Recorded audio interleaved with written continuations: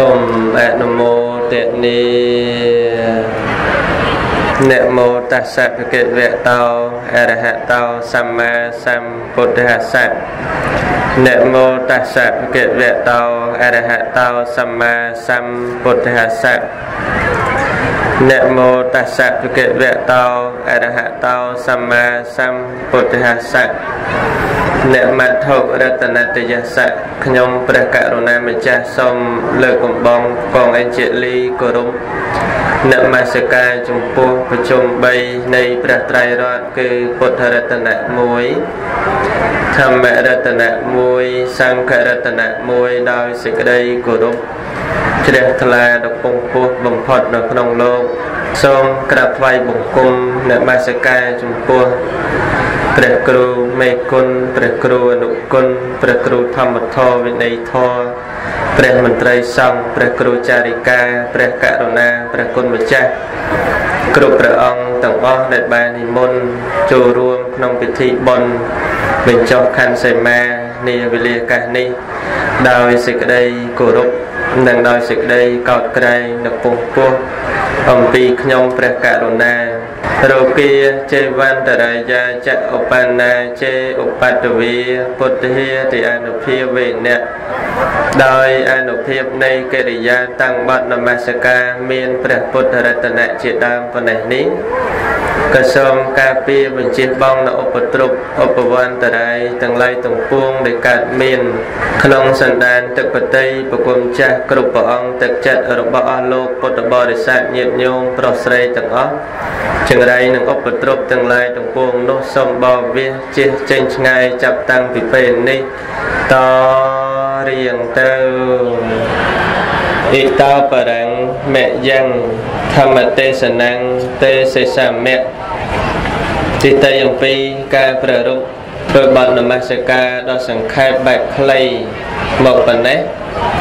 តម្រូវដល់រូបខ្ញុំព្រះករុណាអាត្មាភាពទាំង3ព្រះអង្គនិងអរតនីនៅព្រះធម៌ទេសនាដើម្បីសម្ដែងប្រកេនចែកជូនចំពោះប្រគុណចាស់គ្រប់ព្រះអង្គញាតិញោមពុទ្ធបរិស័ទប្រុសស្រីទាំងអស់ដើម្បីនឹងស្ដាប់យកផលានិសង្ឃតាមនិស័យ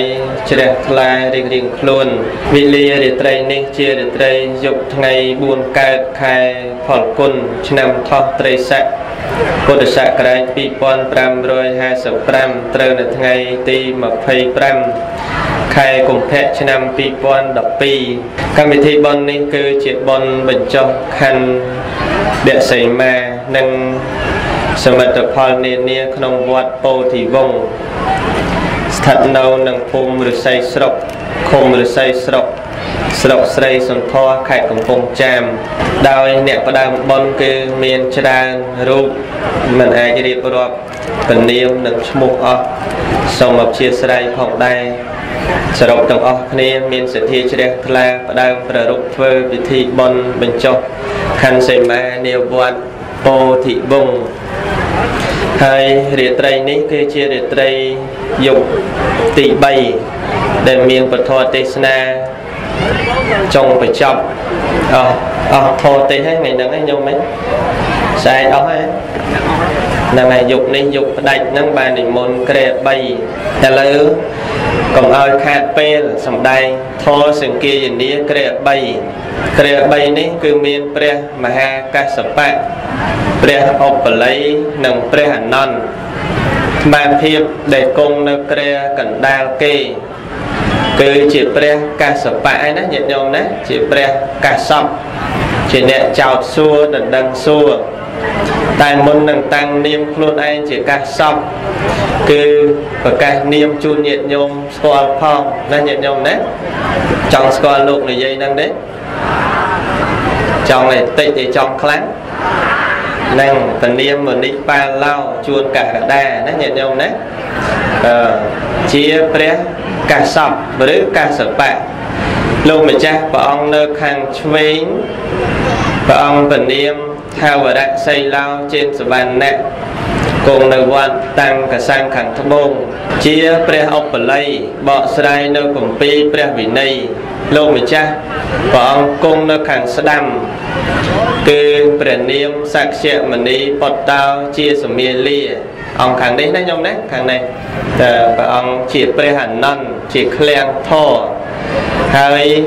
បានទទួលបកស្រាយនៅពីរកម្ពីគឺកម្ពីព្រះសុតន្តបិដកមួយកម្ពីនិងកម្ពីព្រះអភិធម្មបិដកមួយកម្ពីសូមអធិស្ឋានញាតិញោមផងដែរដោយសារការសម្ដែងគ្រា3គឺមិនដូច សម័យដែលញាតិញោមធ្លាប់ស្ដាប់ធ្លាប់ឮធ្លាប់ដឹង គឺមានការវេលានឹងវែងឆ្ងាយនេះគឺសំដែងត្រង់ចំណុចដែលសំខាន់សំខាន់ដែលអាចលើកឡើងយកមកសំដែងបានប្រកេនប្រគំចាស់ជូនញាតិញោមបានស្ដាប់ ក្នុងការតែងតាំងនាមនេះលោកម្ចាស់ដ៏មានអាយុទាំងពីរព្រះអង្គគឺគ្រាន់តែជាការតែងតាំងជាអត្តនោម័តឬក៏ជាឯកតោភិក្ខី គ្រាន់តែផ្ដើមឡើងគំនិតដោយខ្លួនឯងតែងតាំងសម្រាប់លោកម្ចាស់ទាំងពីរព្រះអង្គដោយបតីព្រះអង្គឯងខ្ញុំកណាចង់ប្រគេនទៅព្រះអនន្តព្រោះអនន្តពីរកម្ពីបើអនន្តព្រមឧបល័យមិនប្រកែកទេព្រោះឧបល័យតែមួយកម្ពីទេមនាលអនន្តដែលមានអាយុ ក្នុងការតែងតាំងនាមនេះតើព្រះអនន្តមានប្រតិយ៉ាងណា រហូតដល់ពីកម្ពីព្រោះអនន្តមិនមែនអនន្តសម័យព្រះក៏ប៉ុន្តែអនន្តសម័យនេះ ក៏អនន្តបកែវោហាធោអានឹងច្រើនក្នុងបតីរបស់ព្រះអនន្តតែងតាំងមកប៉ុណ្ណេះមានបតីយ៉ាងណាយ៉ាងណាសូមបញ្ចេញសត្យវិចាប្រគិនប្រគំចាស់ជួនញាតិញោមបានជ្រាបផងសូមនិមន្តសូមអនុមោទនីនមោតស្សៈភេកវៈតោអរិហតោសម្មាសម្ពុទ្ធស្សៈនមោតស្សៈភេកវៈតោអរិហតោសម្មាសម្ពុទ្ធស្សៈនមោតស្សៈភេកវៈតោអរិហតោសម្មាសម្ពុទ្ធស្សៈអ្នកមត្ថរតនតយស័កខ្ញុំបករុណាសូមនមស្ការថ្វាយបង្គំអត់ទិដៅចំពោះគុណនៃព្រះរតនត្រ័យគឺព្រះពុទ្ធព្រះធម៌និងព្រះសង្ឃដោយសេចក្តីគោរពនិងដោយសេចក្តីជ្រះថ្លាកោតក្រែងទៅក្រៃលែងខ្ញុំព្រះករុណា សូមក្រាបថ្វាយបង្គំព្រះមហាថៃគ្រប់ព្រះអង្គព្រះធេរានុធេរៈគ្រប់ព្រះអង្គដែលបាននិមន្តគង់នៅក្នុងវត្តពោធិវង្សនេះកណាដោយសេចក្តីគោរពដល់ខ្ពង់ខ្ពស់ក្រៃលែងថ្វាយបង្គំព្រះមហាថៃគង់នៅក្រេកណ្ដាលគង់នៅវត្តបតុមរាជធានីភ្នំពេញកត់លេខ7មនិកប៉ាឡោជួនកកដាស្គាល់ហើយថ្ងៃនេះ ទឹកភ័ក្រអញ្ចឹងសោះមិនក៏ទេសអីក៏បរោះម្លេះហើយចម្រើនពោញាតញោមឲ្យថ្វាយបង្គំគុណម្ចាស់ទាំងអស់ព្រះអង្គមានគុណចាស់ប្រណិកថាទាំង4ព្រះអង្គដែលបាននិមន្តមកដើម្បីស្វាជាយនៅអឺធរផ្សេងផ្សេងក្នុងវេលាចប់កម្ពីមួយមួយចម្រើនពោញាតញោមពុទ្ធបរិស័ទស្រីប្រុសទាំងអស់ឥឡូវមហាថៃលោកសួរថា តើអនន្តនឹងព្រមទទួលងារជា អ្នកឆ្លើយព្រះសោតព្រះអភិធម្មនឹងទេ សូមឆ្លើយប្រកេនខ្លីថាព្រមអ្នករិស័យស្រុកលឺនៅលោកព្រមនៅញាតិញោមទាំងអស់គ្នាព្រមអត់ព្រមព្រម ហ្នឹងហើយព្រមទាំងអស់គ្នាហើយមហាកាសពលើហើយជ្រាបហើយទេណាដូច្នេះខ្ញុំកណាព្រមទទួលឆ្លើយប៉ុន្តែឆ្លើយកលែងចេះចេះណាទេកលែងអត់ចេះទុកប្រកេនទៅព្រះមហាកាសពវិញហើយទេចេះទៅតាមបញ្ញាបន្តិចបន្តួចស្ដួយស្ដើងណាព្រះមហាកាសពសូមនិមន្តជ្រាបហើយញាតិញោមពុទ្ធបរិស័ទសូមត្រេកអរជ្រះថ្លា ហើយអនុមោទនាឲ្យដូច្នេះសូមអធិស្ឋានអភ័យទោសរាល់ការបកស្រាយទៅបើសិនបាក់ខ្វះខាតកន្លែងណាសូមអ្នកប្រាជ្ញទាំងឡាយមេត្តាអភ័យទោសដល់ខ្ញុំកណាអនន្តសន្មតនេះផងសូមអនុមោទនា តស្សវចនងអហង្សុទ្វាខ្ញុំបកណាបានស្ដាប់នៅវិចាពាក្យពេចស្ដីរបស់ព្រះអនន្តដ៏មានអាយុបានបញ្ជាក់រៀបរាប់បំបញ្ញមិញគឺព្រមលមមនឹងឯកសម្ដែងពធទៅបានទាល់តែភ្លើងฟ้าបាញ់ទៅខាងនោះបានឃើញញាតិញោមច្រើនណាញាតិញោមណាច្រើនមែនតែនហហើយលោកម្ចាស់ដ៏មានអាយុក៏ព្រះអង្គច្រើនអង្គ សប្បាយណាស់ញាតិញោមលោកទេសនឹងក៏សប្បាយចិត្តដែរមិនបានជួបញាតិញោមអីច្រើនថ្នាក់នឹងសង្ឃឹមថាអញ្ជើញមកទាំងអស់គ្នានឹងសិតតែចង់បានបន់គ្រប់គ្នាមែនទេញាតិញោមញោមអើយចង់បានបន់អត់ចា ហ្នឹងហើយជើញមកគ្រប់គ្នាហ្នឹងសិតតែចង់បានបនឥឡូវនេះបនរហូតដល់កម្ពី3គឺកម្ពីព្រះវិន័យកម្ពីព្រះសោតនិងកម្ពីព្រះអភិធម្មអានន្ទបានទទួលហើយឧបល័យមិនចាំបាច់សួរទឹកបតីទេព្រោះឧបល័យតែត្រឹមកម្ពីព្រះវិន័យមួយប៉ុណ្ណោះ ការដែលកើតឡើងនៅការសម្ដែងពធទេសនាគ្រា3គឺញាតិញោមក៏ធ្លាប់ស្ដាប់លោកម្ចាស់ច្រើនអង្គលោកច្រើនសម្ដែងគ្រា3ហ្នឹងដើមហេតុដើមកំណើតកើតពីណារឿងដំណើរដំណើរនឹងមិនបាច់បញ្ជាក់បន្ថែមទេញាតិញោមណាគឺលើកឡើងធម៌វិន័យសួរតែម្ដងព្រោះកាលវេលា មានពេលខ្លីណាស់សម្រាប់ការសម្ដែងធម៌ឥឡូវអបល័យដ៏មានអាយុ ងាកមកខាងឧបល័យវិញគឺបកស្រាយគម្ពីរព្រះវិន័យឧបល័យជាអេតតកៈផ្នែកខាងត្រត្រង់ព្រះវិន័យកាត់ក្តីវិនិច្ឆ័យព្រះវិន័យល្អណាស់ញាតិញោមឧបល័យទៅបានព្រះអង្គទ្រង់ប្រកាសតែងតាំងនៅកម្ពូលលើភិក្ខុទាំងឡាយផ្នែកខាងត្រត្រង់ព្រះវិន័យបើនិយាយពីកាលទៅសាងភ្នោះ ខ្សាត់ទាំង6ព្រះអង្គទៅអបល័យនឹងប្រុងនឹងប្រាថ្នាចេញចាស់អំពីខ្សាត់ទាំង6ព្រះអង្គនឹងពេលដែលបានទ្រព្យសម្បត្តិពីខ្សាត់6ព្រះអង្គនឹងទៅបែរជាអបល័យគិតថាអាត្មាអញបើយកទ្រព្យសម្បត្តិនឹងទៅយកទៅចាយវាក៏អត់ប្រយោជន៍ដដែលមិនដឹងថាជាប្រយោជន៍អីសម្រាប់ការចាយវាទ្រព្យសម្បត្តិអស់នោះបើគេទៅបួសអស់អាត្មាអញត្រឡប់ទៅវិញធ្វើអី សុកចិត្តពាក់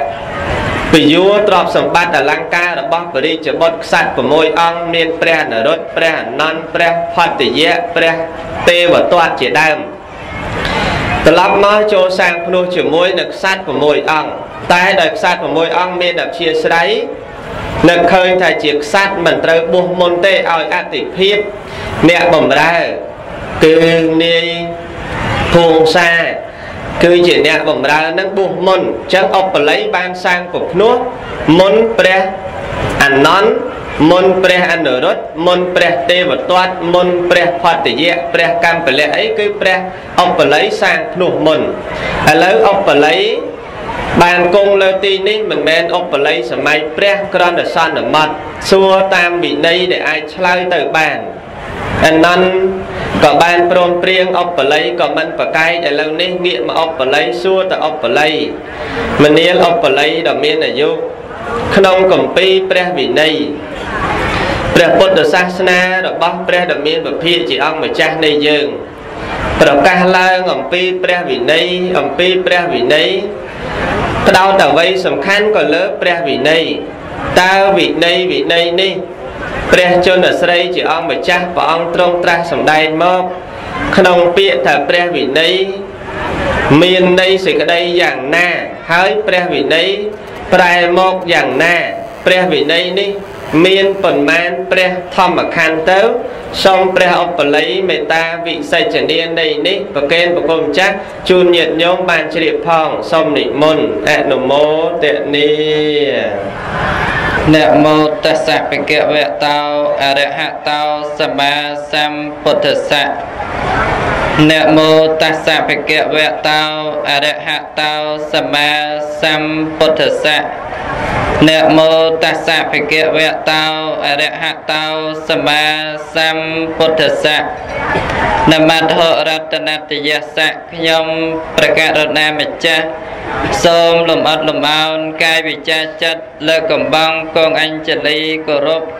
នមស្ការថ្វាយបង្គំឧទ្ទិសដៅចំពោះប្រជុំនៃរតនៈទាំងឡាយ3គឺព្រះពុទ្ធរតនៈ1ព្រះធម្មរតនៈ1ព្រះសង្ឃរតនៈ1ដោយសេចក្តីគោរពជ្រះថ្លាដល់ក្រៃលែងអំពីខ្ញុំព្រះករុណាសូមគោរពនមស្ការថ្វាយបង្គំចំពោះព្រះមហាធិគ្រូទាំងពីរព្រះអង្គដែលព្រះអង្គមានព្រះវត្តមាននៅលើក្រែធម្មសនៈនីវេលាឱកាសនេះដោយសេចក្តីគោរពជ្រះថ្លាដល់ក្រៃលែងអំពីខ្ញុំព្រះករុណា សូមគោរពនមស្ការថ្វាយបង្គំចំពោះព្រះគ្រូមេគុណអនុគុណពិន័យធរនិងព្រះគ្រូចារិកាប្រសង់គ្រប់ព្រះអង្គទាំងអស់ដែលមានព្រះវត្តមាននៅក្នុងអារាមដ្ឋាននាវេលាឱកាសនេះដោយសេចក្តីគោរពជ្រះថ្លាដល់ក្រៃលែងអំពីខ្ញុំព្រះករុណា បន្តបន្ទាប់អំពីការធ្វើបတ်នមស្ការដល់សង្ខេបបတ်បែបខ្លីមកប៉ុណ្ណេះនេះក៏តម្រូវត្រូវចំខ្ញុំបកណាអាត្មាភាពដែលបានទទួលតួនាទីថាជាឧបល័យឧបល័យនេះតួនាទីអត់មានតាំងនាមទេណាញោមដាក់មកបើអនន្តតាំងនាមសិតតែសួរចិត្តបើឧបល័យអត់មានសួរវាម៉ាត់គួរចំណែនទេញោមចំណែនអត់ ចំណែនដែរហ្នឹងហើយមិញនឹងឧបល័យចោះខុសពលានដឹងចោះខុសពលានអត់យកមិញយន្តហោះក៏ចោះខុសពលានណោមិញបានឧបល័យអង្គុយក្រែណោឥឡូវមិនដូរមកនេះវិញចោះខុសពលានអនន្តបក់ដៃហាមិននេះមិននេះខុសគេហើយបានដូរក្រែញាតិញោមណាបាទអញ្ចឹងខ្ញុំបកណាអាត្មាភាពបានទទួលឱកាសជាព្រះមហាឧបល័យ ឧបល័យសម័យនេះក៏មិនមែនជាឧបល័យសម័យពុទ្ធកាល ដែលដូចជាព្រះមហាថេរគ្រូព្រះអង្គបានលើកឡើងថាព្រះឧបល័យសម័យពុទ្ធកាលព្រះអង្គពូកែខាងការដោះស្រាយការវែកញែកនៅព្រះវិន័យ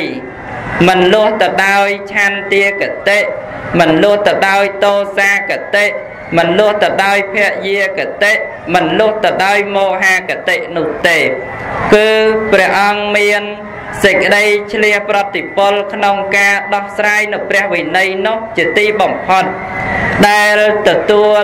អេតតកៈអំពីព្រះសម្មាសម្ពុទ្ធព្រះអង្គត្រាស់ក្នុងចំណោមភិក្ខុទាំងឡាយថាមនាលភិក្ខុទាំងឡាយ ព្រះមហាឧបល័យនេះ គឺជាអ្នកពូកែខាងព្រះវិន័យព្រះអង្គតាំងនាម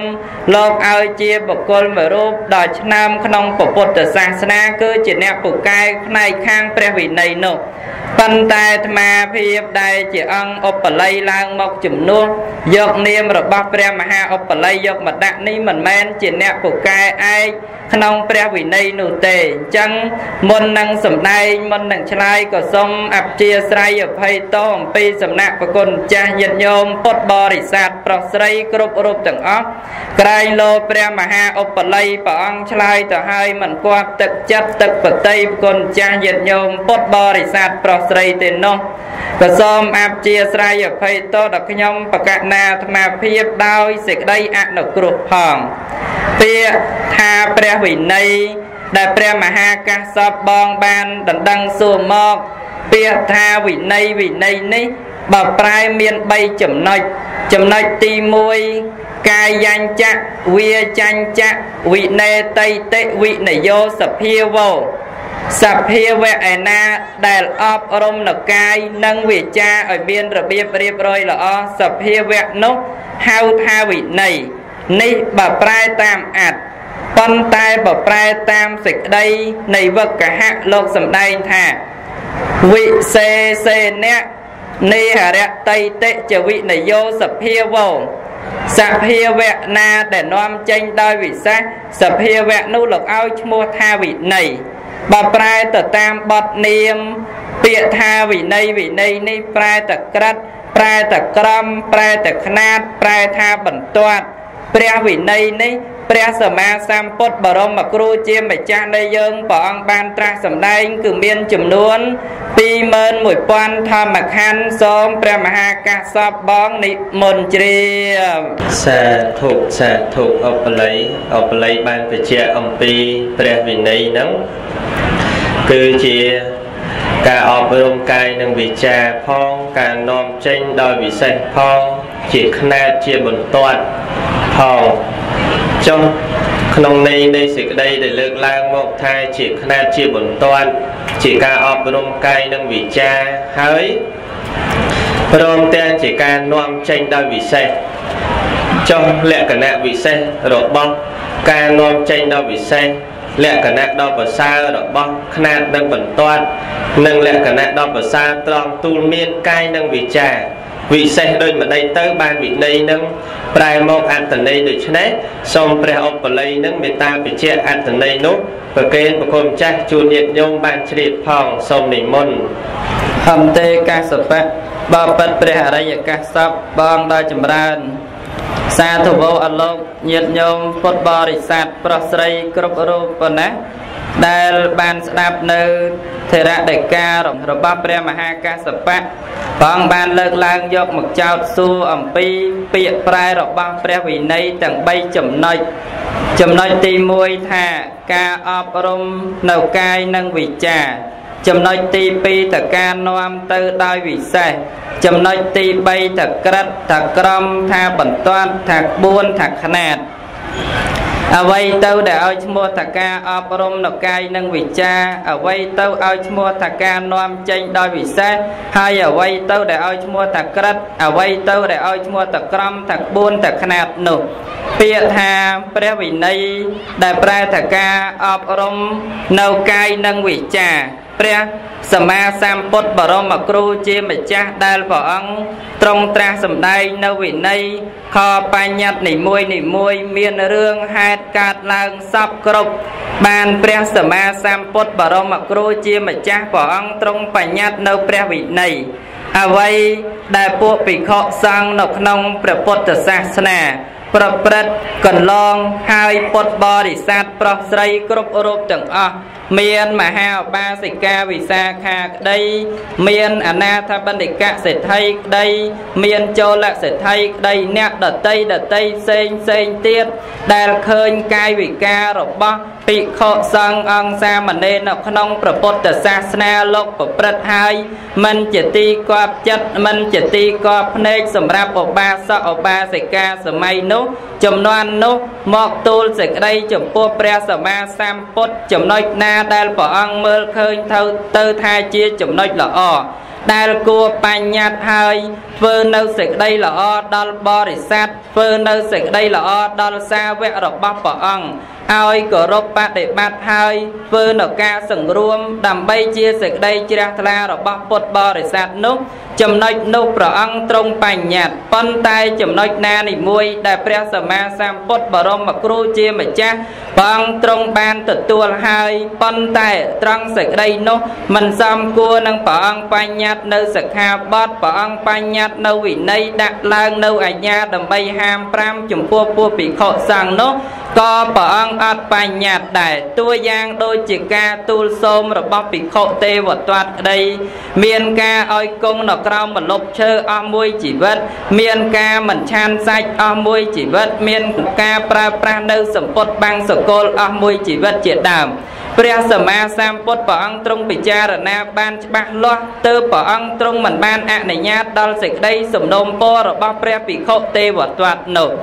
នេះក្នុងគោលដៅមួយពាក្យថាវិន័យគឺព្រះសម្មាសម្ពុទ្ធព្រះអង្គទ្រង់សម្ដែងឡើងដើម្បីអប់រំនៅកាយនិងវាចារបស់បរិស័ទរបស់ព្រះអង្គឲ្យមានរបៀបរៀបរយល្អភិក្ខុសង្ឃក្នុងសាសនា កាលណាបើមានវិន័យល្អលោកមានកាយកាលណាបើមានវិន័យល្អលោកមានវិចាររបស់លោកគួរជាទីជ្រះថ្លារបស់ញាតិញោមពុទ្ធបរិស័ទប្រុសស្រីគ្រប់រូបទាំងអស់ប្រសិនបើប្រសង់អត់មានវិន័យញាតិញោមជ្រះថ្លាធ្វើទានជាមួយលោកឯញោមញោមចង់ធ្វើទានជាមួយលោកអត់វិន័យអត់ ឧទាហរណ៍ញោមចូលដល់ក្នុងវត្តយកចង្ហាន់ប្រគេនលោកលោកកំពុងតែច្រៀងការ៉ាអូខេចង់ធ្វើទានជាមួយអត់ធ្វើអត់អត់ទេញាតញោមពុទ្ធបរិស័ទជ្រះថ្លា កសាងព្រះវិហារញាតិញោមពុទ្ធបរិស័ទប្រុសស្រីទាំងអស់ជ្រះថ្លាកសាងកុដកសាងសាលាឆាន់កសាងនទីសនាសនៈផ្សេងផ្សេងប្រគេនចំពោះព្រះភិក្ខុសង្ឃទាំងអស់នោះព្រោះលោកគឺជាបុគ្គលកំពុងតែអប់រំនៅកាយនិងវិចារឲ្យមានរបៀបរៀបរយល្អដើម្បីជាប្រយោជន៍សម្រាប់ពុទ្ធបរិស័ទប្រុសស្រីគ្រប់រូបទាំងអស់ ព្រះសង្ឃលោកអត់ប្រព្រឹត្តធ្វើនៅបាបធម៌ព្រះសង្ឃអត់ប្រព្រឹត្តធ្វើនៅអនេសនៈធម៌ព្រះសង្ឃលោកមិនពោលនៅពីអាក្រក់ផ្សេងផ្សេងលោកមិនសម្លាប់សត្វលោកមិនបៀតបៀនសត្វលោកមិនប្រព្រឹត្តធ្វើនៅអំពើអាក្រក់ទើបញាតញោមពុទ្ធបរិស័ទប្រុសស្រីគ្រប់រូបទាំងអស់មានសេចក្តីជ្រះថ្លាព្រោះវិន័យវិន័យមួយម៉ាត់នៃញាតញោមពុទ្ធបរិស័ទប្រុសស្រីទាំងអស់ គឺគ្រាន់តែជាការអប់រំទូមានដល់កាយនិងវិជាប៉ុណ្ណោះសិក្ខាបទរបស់ព្រះភិក្ខុសង្ឃក្នុងព្រះសាសនា មាន227សិក្ខាបទរបស់សាមណេរមាន10តន្តកម្ម10នេសនាង្គៈ10សក្ខយវត្ត75លោកវច្ចៈសិក្ខាបទ49ជាដើមក្នុងគោលដៅដើម្បីអប់រំនៅកាយនិងវិចាររបស់ភិក្ខុក្នុងគោលដៅដើម្បីអប់រំនៅកាយវិចាររបស់សាមណេរនោះឲ្យមានរបៀបរៀបរយល្អ ថ្វីត្បិតតែការអប់រំនៅកាយថ្វីត្បិតតែការអប់រំនៅវិចារឲ្យមានរបៀបរៀបរយល្អប៉ុន្តែនៅក្នុងសេចក្តីនៃការអប់រំកាយក្នុងសេចក្តីនៃការអប់រំវិចារនោះ គឺមានការយកចិត្តដើម្បីយកមកអប់រំព្រោះចិត្តគឺនៅខាងក្នុងមានការបញ្ចេញសម្ដីនិយាយក្តី មានការចេញកាយវិការដើម្បីធ្វើក្តីគឺមានចិត្តនឹងឯងគឺអ្នកបញ្ជាមកខាងក្នុង ពាក្យមួយថាចេតសិកទាំងឡាយមានចិត្តជាធំមានចិត្តជាបន្ទុកជានាយចវាយ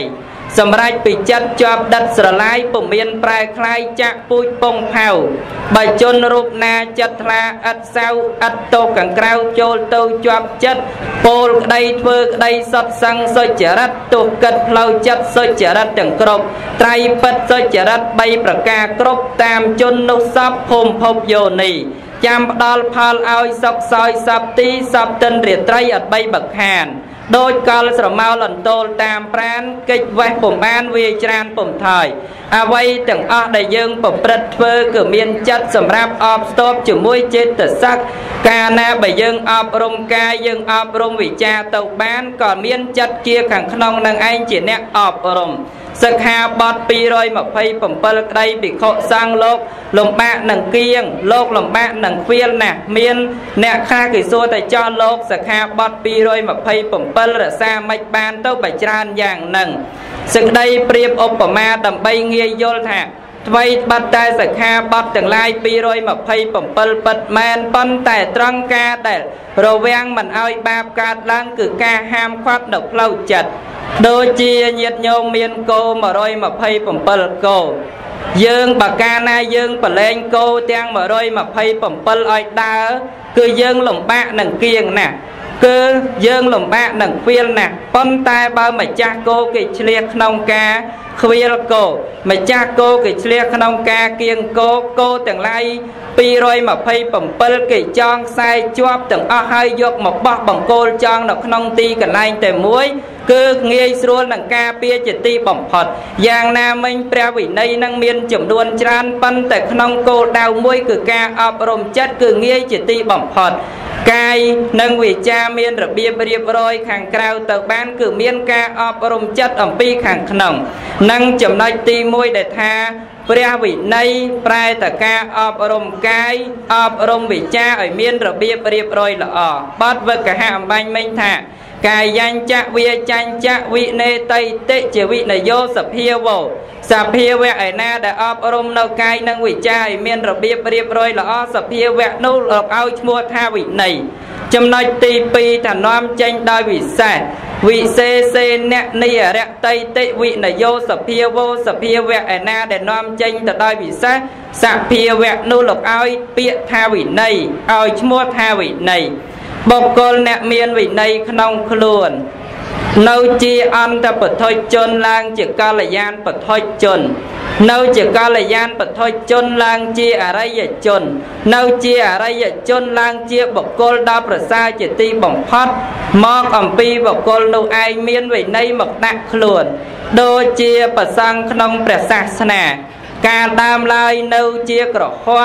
នៅគ្រប់គ្រងផ្ទះដើរកាត់មុខផ្ទះញាតញោមញាតញោមអត់មើលមុខផងស្រួលញោមណោះ មើលមុខអត់ញោមអត់ថ្មអីមហាទេគ្រូពីរព្រះអង្គហ្នឹងបើអត់បួសអត់មានវិន័យគ្មានអ្នកណាមើលមុខទេដើរកាត់មុខផ្ទះនោះជឿអត់មិនមើលមុខទេមើលមុខកុនឥឡូវហ្នឹងមហាទេគ្រូបាននោះបាទអញ្ចឹងដោយសារលោកមាននៅវិន័យនាំចេញនៅអកុសលនាំចេញនៅអវ័យដែលមិនស្អាត នាំចេញនៅអវ័យដែលមិនបរិសុទ្ធដើម្បីឲ្យស្អាតឲ្យបរិសុទ្ធទៅបាន ចំណុចទី3ពាក្យថាវិន័យប្រែតែក្បួនពាក្យថាវិន័យប្រែតែច្បាប់ពាក្យថាវិន័យប្រែថាបន្ទាត់សម្រាប់ក្រិតដៅឲ្យដឹងច្បាស់ថាអ្វីជាទោសអ្វីដែលមិនមែនជាទោសប្រសិនបើយើងប្រព្រឹត្តធ្វើយើងអត់មានព្រះវិន័យដែលជាគ្រឿងចង្អុលបង្ហាញនោះទេយើងអត់ដឹងខនៃសិក្ខាបទមួយណាយើងប្រព្រឹត្តកន្លងសិក្ខាបទមួយណាដែលយើងបានប្រព្រឹត្តត្រឹមត្រូវនោះទេប៉ុន្តែមានព្រះវិន័យនេះឯងគឺជាបន្ទាត់ឬក៏ជាຂ្នាតសម្រាប់ក្រិតដែលយើងដឹងថានេះគឺជាចំណុចល្អ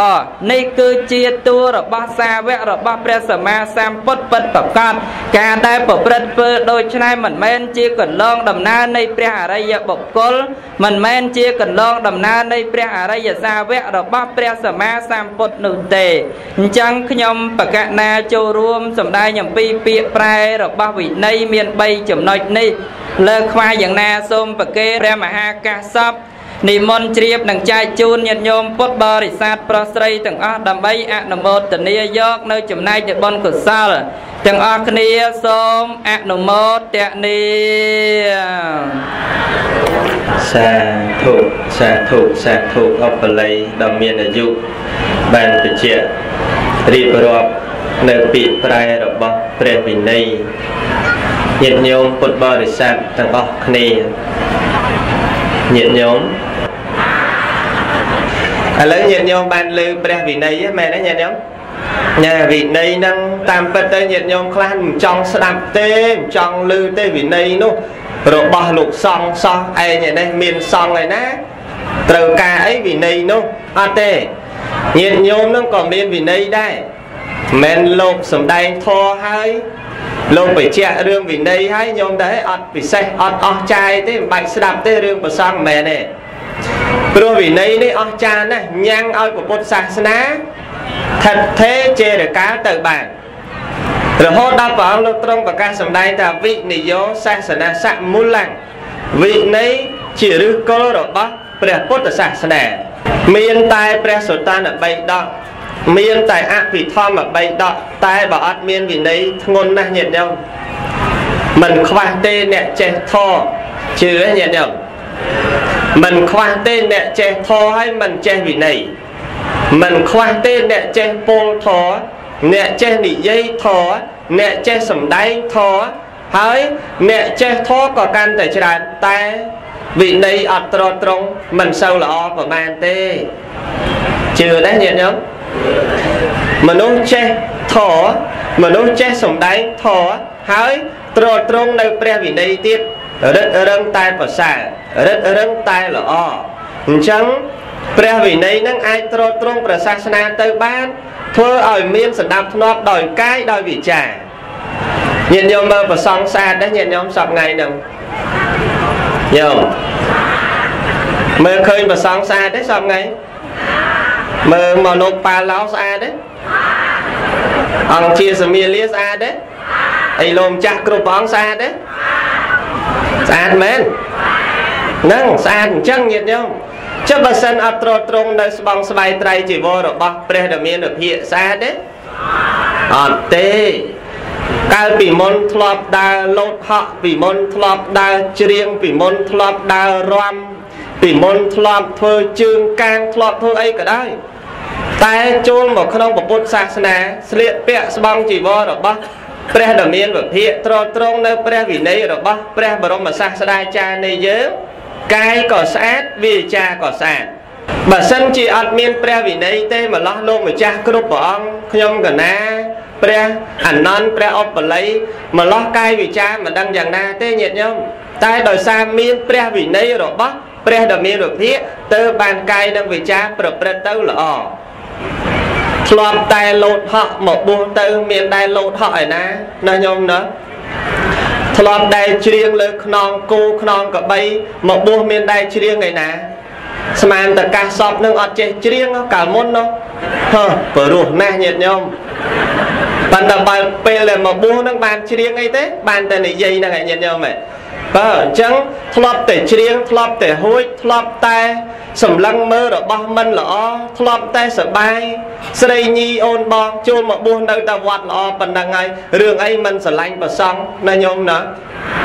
ណាញោមនិយាយឬស័យស្រុកណាហ្នឹងហើយរឿងអីដែលមិនស្រឡាញ់ប្រសង់បើឃើញប្រសង់ស្អាតម្លឹងល្អម្លឹងប៉ុណ្ណឹងតែស្រឡាញ់មានពីរណាញាតិញោមណាញោម ស្រឡាញ់មួយស្រឡាញ់ធ្វើជាស្រែប៉ុនស្រឡាញ់មួយទៀតស្រឡាញ់មួយទៀតអីញាតិញោមស្រឡាញ់មួយទៀតជាស្រែប៉ុនជាបញ្ញខេតដល់ប្រសើរសម្រាប់ញាតិញោមតែស្រឡាញ់មួយទៀតយ៉ាប់ហើយញាតិញោមកុំស្រឡាញ់លោកមួយទៀតណាដឹងនៅបាទស្រឡាញ់តែមួយបានណាស្រឡាញ់សម្រាប់ទុកធ្វើប៉ុនណាញាតិញោមណាស្រឡាញ់សម្រាប់ទ្រទ្រង់ព្រះសាសនារបស់ព្រះបរមគ្រូឲ្យល្អឲ្យប្រសើរឡើងឃើញទេញាតិញោម នឹងមានវិន័យល្អអញ្ចឹងប្រសងក្នុងសាសនា ប្រព្រឹត្តទៅអញ្ចឹងបានញោមហ៊ានលះបង់ចង្ហាន់មកញោមហ៊ានលះបង់លុយកាក់មើលកសាងពហិមើលញោមហ៊ានលះពេលវេលាដ៏មានតម្លៃមកអង្គុយបត់ជើងនៅកន្លែងហ្នឹងមកដល់កន្លែងប៉ុនហ្នឹងប្ររពប៉ុនហ្នឹងបើសិនជាប្រសងអត់ស្អាតស្មែញោមសុកចិត្តមកញាតិញោមមកតែញោមបើប្រសងច្រៀងការ៉ាអូខេអីមកទេ បើដូចអាគ្រប់អង្គចេញពីទេសនាចេញពីប៉ុនទៅយកសំណាញ់យកអីទៅបងត្រីអីមកទេអត់ទេយ៉ាងណាមិញវិន័យនឹងធ្វើឲ្យស្អាតកាយនិងវិចារដូច្នេះឯងណាញាតិញោមណាហ្នឹងហើយប្រសង់នេះញាតិញោមហើយត្រត្រង់វិន័យល្អប្រសើរស្អាត មិនមានបកគលណាមួយស្អាតដូចប្រសង់ទេញាតិញោមថាអញ្ចឹងសរសើរខ្លួនឯងពេកតែភាពពិតអញ្ចឹងណាញាតិញោមប្រើសម្លៀកបំពាក់ស្បង់ជីវរតាន់សម័យជានិច្ចណាញោមណាជឿទេអាត្មានេះប្រើស្បង់ជីវរនេះគឺតាន់សម័យណាស់របស់ញោមប្រើអត់តាន់សម័យទេហើយមិនបានអាត្មាហ៊ានថាអញ្ចឹងស្បង់និងជីវរ គ្រប់អង្គដែលប្រើនេះតាន់សម័យណាស់ជាង2000ឆ្នាំអត់មានឆែកមកបន្តិចញាតិញោមញោមតាន់សម័យទេហើយរបស់ញោមអត់តាន់សម័យទេកុំឃើញស្លៀកពាក់ស្អាតមកប្រដាប់មកប្រដាប់សិតតែ2 300ដុល្លារយ៉ាងច្រើនតាន់សម័យតែ2012ចូល13មកហួសសម័យឥឡូវមែនទេម៉ូតូអា0 11ចង់ហួសហ่ะដល់12មិនហួស តើ12ចូលមក13ចូលមក12ហួសទៀតដែរមែនទេញាតិញោមម៉ូតសក់ក៏លោកម៉ូតតាន់សម័យដែរញាតិញោមណាញោមដែរណាញោមដែរតាន់សម័យណាស់ញាតិញោមហើយម៉ូតសក់របស់ញោមណាអត់តាន់សម័យទេថ្មកើតមកដឹងក្តីឃើញញាតិញោមបងស្រីស្រីគាត់អត់សក់អាពីមុខមកកដប់មកកដប់ញាតិញោមអាហ្នឹងគេហៅសក់អីញោមសក់ញោមយាយសក់អី សក់សេះហ៎ហីមានសក់សេះទៀតតាំងពីសក់នឹងមកស្នក់អីសក់ឈ្នៀងកាប់សក់ត្រឡោតកាប់នោះសក់ច្រើនណាស់រហូតមកដល់សម័យយើងនេះគេហៅថាសម័យសក់អន្ទះបាញ់ប្រឆាត់មែនទេញាតិញោម ព្រោះអន្ទះបាញ់អត់ចំរៀងឈីឈីទៅវារៀងក្រហមណាញាតិញោមហ្នឹងគេហៅថាសក់អន្ទះបាញ់ប្រឆាត់សក់នឹងក៏ដោយសម័យក្រោយទៅទៀតសក់យ៉ាងណាក៏ដោយតែនៅតែមិនទាន់សម័យសក់របស់ព្រះសង្ឃទេគឺអាលីងរហូតញាតិញោមណាណាញោមណាស្អាតរហូតញាតិញោមមើលឃើញព្រះសង្ឃស្អាតទេហ្នឹងម៉ូតសក់តាន់សម័យស្បង់ជីវរតាន់សម័យអត់ដែលហួសសេរីទេញាតិញោមតែញោមញោម តែរបស់ញោមកុំចូលនោះណាញោមណាប្រសង់មើលឃើញត្រឹមតែកជើងកដៃត្រឹមប្រកេះឡើងលើញាតិញោមមើលហើយស្មានតែងាយឃើញសាច់ស្មាអាត្មាអីញោមមកស្មានងាយឃើញសាច់ដើមទ្រូងអីលោកម្ចាស់គ្រប់អង្គអីងាយឃើញញោមមកមិនងាយទេញោមតែបើខាងញោមវិញកុំជោនោះ តែជោអស់កង់ឥឡូវណាហើយចង់ក៏អស់គោដែរណាញោមណាអឺអញ្ចឹងហើយវិន័យនឹងនាំឲ្យស្អាតអញ្ចឹងត្រួតត្រងព្រះសាសនារបស់ព្រះដ៏មានភិក្ខគ្រប់5000ព្រះភាសាក៏ដោយសារព្រះវិន័យដែរសូមអនុមោទនា សូមអធិស្ឋានឧបល័យបញ្ចប់ប៉ុណ្ណឹងចោះមុននឹងបញ្ចប់ឧបល័យសូមនិមន្តព្រះនិកថាសូត្រអានត្រីនៅអជាយៈថាបរាបដិសង្ឃមហាមេឃមហាដាលធុជៈយានីករីមនុនសូត្រតាមកម្ពីលន់ឬក្រឹកក្រឹកក្រែងក្រែងដូចនៀកលេងទឹកតទៅវងអនុមោទនីឥឡូវនេះក្រោយពីបញ្ចប់នៅកម្ពីព្រះវិន័យបីដក ស្រែកដោយសង្ខេបមិនបានពឹស្ដាកាលណាហើយសូមពុទ្ធបរិស័ទព្រះករុណាព្រះគុណម្ចាស់គ្រប់ព្រះអង្គពុទ្ធបរិស័ទញាតិញោមប្រុសស្រីគ្រប់រូបបំលែព្រះភ័ក្រងាកមុខមករកព្រះមហាអនន្តញាតិញោមណាព្រះអនន្តដ៏ស្រស់ប្រំប្រៃសម្ដីផ្អែមពីរោះ មានព្រះកាយនឹងខ្ពស់ដោយដងតុងចឹងញាតិញោមមិនហ៊ាននិមន្តចិត្តលោកទេអាត្មានោះព្រោះលោកអ្នកខ្ពស់គង់នៅវត្តសំពៅមាសអនន្តសម័យព្រះពុទ្ធកាលព្រះដ៏មានពភាកនិមន្តទៅណាមកណាព្រះអនន្តតែងតែនិមន្តទៅជានិច្ចតាមព្រះអនន្តចេះធរអំពីព្រះដ៏មានពភាកចំនួន82000ព្រះធម្មខណ្ឌ ហើយចេះអំពីសាវកបានតែ2000ព្រះធម្មខណ្ឌទេសរុបគឺ84000ព្រះធម្មខណ្ឌហ្នឹងដែលអនន្តចេះណាញាតិញោមអញ្ចឹងអនន្តឃ្លាំងធរឥឡូវនេះអនន្តអ្នកដ៏មានអាយុកម្ពីរបស់ព្រះអនន្តត្រូវបកស្រាយកម្ពីទី1គឺព្រះសុតន្តបិដកខ្ញុំកណាចង់សួរព្រះអនន្តថា តាមន័យកលែងខ្លះគេអានថាព្រះសុតន្តបិដកកលែងខ្លះគេអានថាប្រសោតឬព្រះសោតអានតជាប់មាត់ទៅប្រសោតប្រសោតទៅមិនដឹងព្រះឬក៏ប្រទេកលែងខ្លះអានសុតន្តបិដកចុះមិនក៏មិនអានតែមួយចាំបាច់អានតពីរធ្វើអីនាំពិបាកបើអានសុតន្តបិដកកុំអានប្រសោតបានអត់ ហើយបើអានតែព្រះសោតកុំអានសុតន្ត3ដកបានឬក៏អត់ឬអានទាំងពីរទៅមិនខុសទោះអីដែរបាននាំគ្នាអានទាំងពីរអញ្ចឹងសូមព្រះអនន្តអ្នកមេត្តាបច្ចៈនៃនេះប្រកេនប្រគំចាស់ជូនញាតិញោមបានជ្រាបផងណាអនន្តណាសូមនិមន្តអនុមោទនីហន្តេកសបៈបពិតព្រះអរិយកាសសពដ៏ចម្រើន បានជាគេហៅថាសុតន្តបៃដក មកអំពីអត្តន័យនិងសេចក្តីប្រែមកដោយពាក្យថាកិរិយាដោតក្រងនៅព្រះពុទ្ធវចនៈទាំងឡាយហើយជាការប្រកាសសម្ដែងចេញញ៉ាំងប្រយោជន៍របស់សត្វឲ្យសម្រេចនោះសេចក្តីនេះមានប្រមាណប៉ុណ្ណេះឲ្យឈ្មោះថាសុតតន្តៈហើយដែលហៅតែបេកដកនឹងត្រង់សេចក្តីដែលថាជាការ ក្រងទុកជាការក្រសោបទុកនៅអវាទទាំងពួងរបស់ព្រះដ៏មានពភាកឲ្យឈ្មោះថាបៃដកដែលជាកញ្ជើឬក៏ភាជនៈត្រូនៅអវាទពុទ្ធវចនៈនោះដែលគេតែងហៅថាព្រះសោតមិនមែនប្រសោតទេមហាកាសពហៅថាព្រះសោតដែលទោះបីជាហៅថាព្រះសោតក៏ហៅពាក្យជាប់គ្នាញាតិញោមហៅអញ្ចឹងមែនប្រសោត ប្រសោតប៉ុន្តែអសរពេញព្រះសោតហៅតែព្រះហ្នឹងក៏ប្រសើរសោតហ្នឹងក៏ដោយន័យថាញោមស្គាល់សោតទេញោមស្គាល់សោតទេអ្នករិស័យស្រុកសោតហ្នឹងស្អីសោតហ្នឹងសោតហ្នឹងហើយស្គាល់ឲ្យច្បាស់ចែសោតហ្នឹងគឺ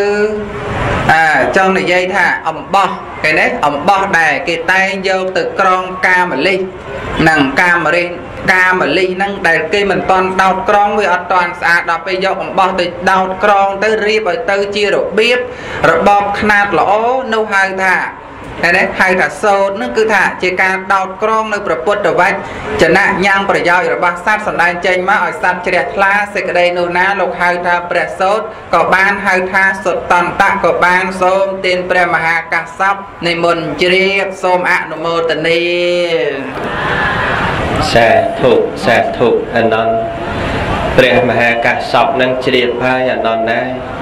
អនន្តដូចរៀងលឿនបន្តិចអនន្តប្រញាប់តាណាបែបអនន្តប្រញាប់ញាតញោមហើយបានអនន្តលឿនណាញោមណាខ្ញុំកណាបានស្ដាប់ឮហើយព្រះសោតឬក៏ព្រះសុតន្តបិដកហើយញាតញោមឮនៅអនន្តណាចុះក្នុងបុណ្យបញ្ចុះខណ្ឌសីមានឹងមានម្ដុំកន្លែងណាខ្លះចូលក្នុងប្រសោត បននឹងបនដែលប្រពធ្វើ3យប់4ថ្ងៃហ្នឹងតើម្ដុំត្រង់ណាទៅ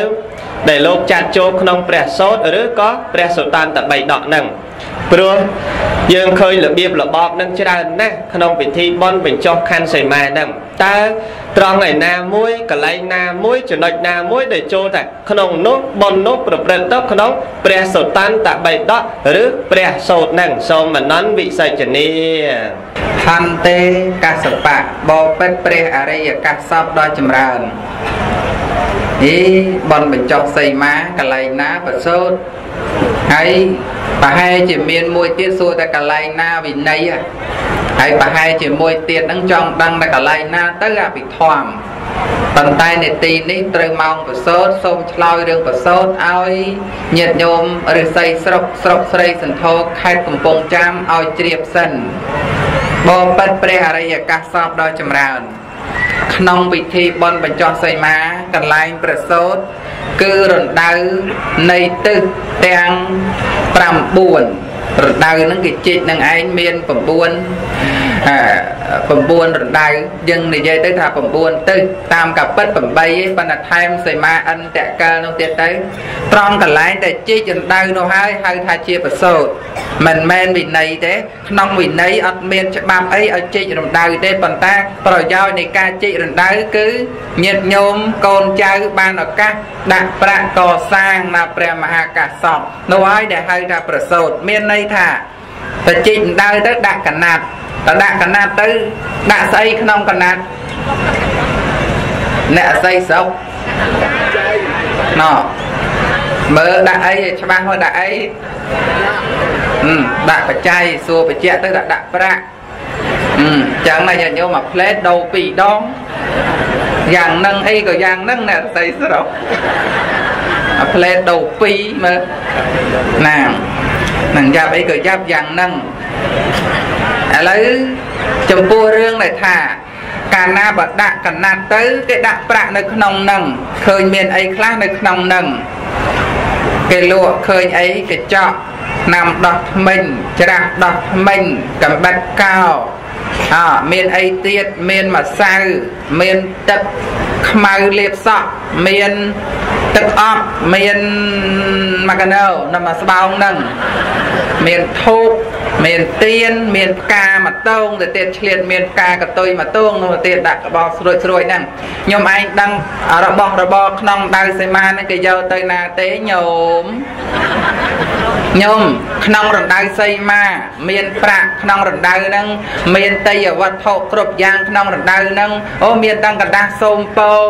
និងសត្រូវមកពីមុខនោះឲ្យសូមឲ្យរំលងសត្រូវណាមកពីខ្នងសូមឲ្យរលាយសត្រូវណាមកពីឆ្ងាយឲ្យคลายមកជាមិត្តខ្មោចចិត្តអីនោះយកបាយខ្មោចណាឆ្ងាយយកកខ្មោចណាល្អមកនៅជាញាតអូពោគេនៅกระดาษហ្នឹងមកហោហែដាក់មកกระดาษទៅនៅក្នុងដៅសីមាសូមពោផ្សេងផ្សេងឲ្យមានបញ្ញាឲ្យមានតម្រេះ ក្នុងទាំងឡាយទាំងពួងឲ្យគ្រប់យ៉ាងមានគ្រប់សម្បូរបែបទៅកាន់អនាគតជាតិញោមមកកញ្ចប់ក្នុងដៅលោកអម្ចាស់នៅយាមណាញាតិញោមគឺគេយកទៅណាយកទៅកសាងវត្ត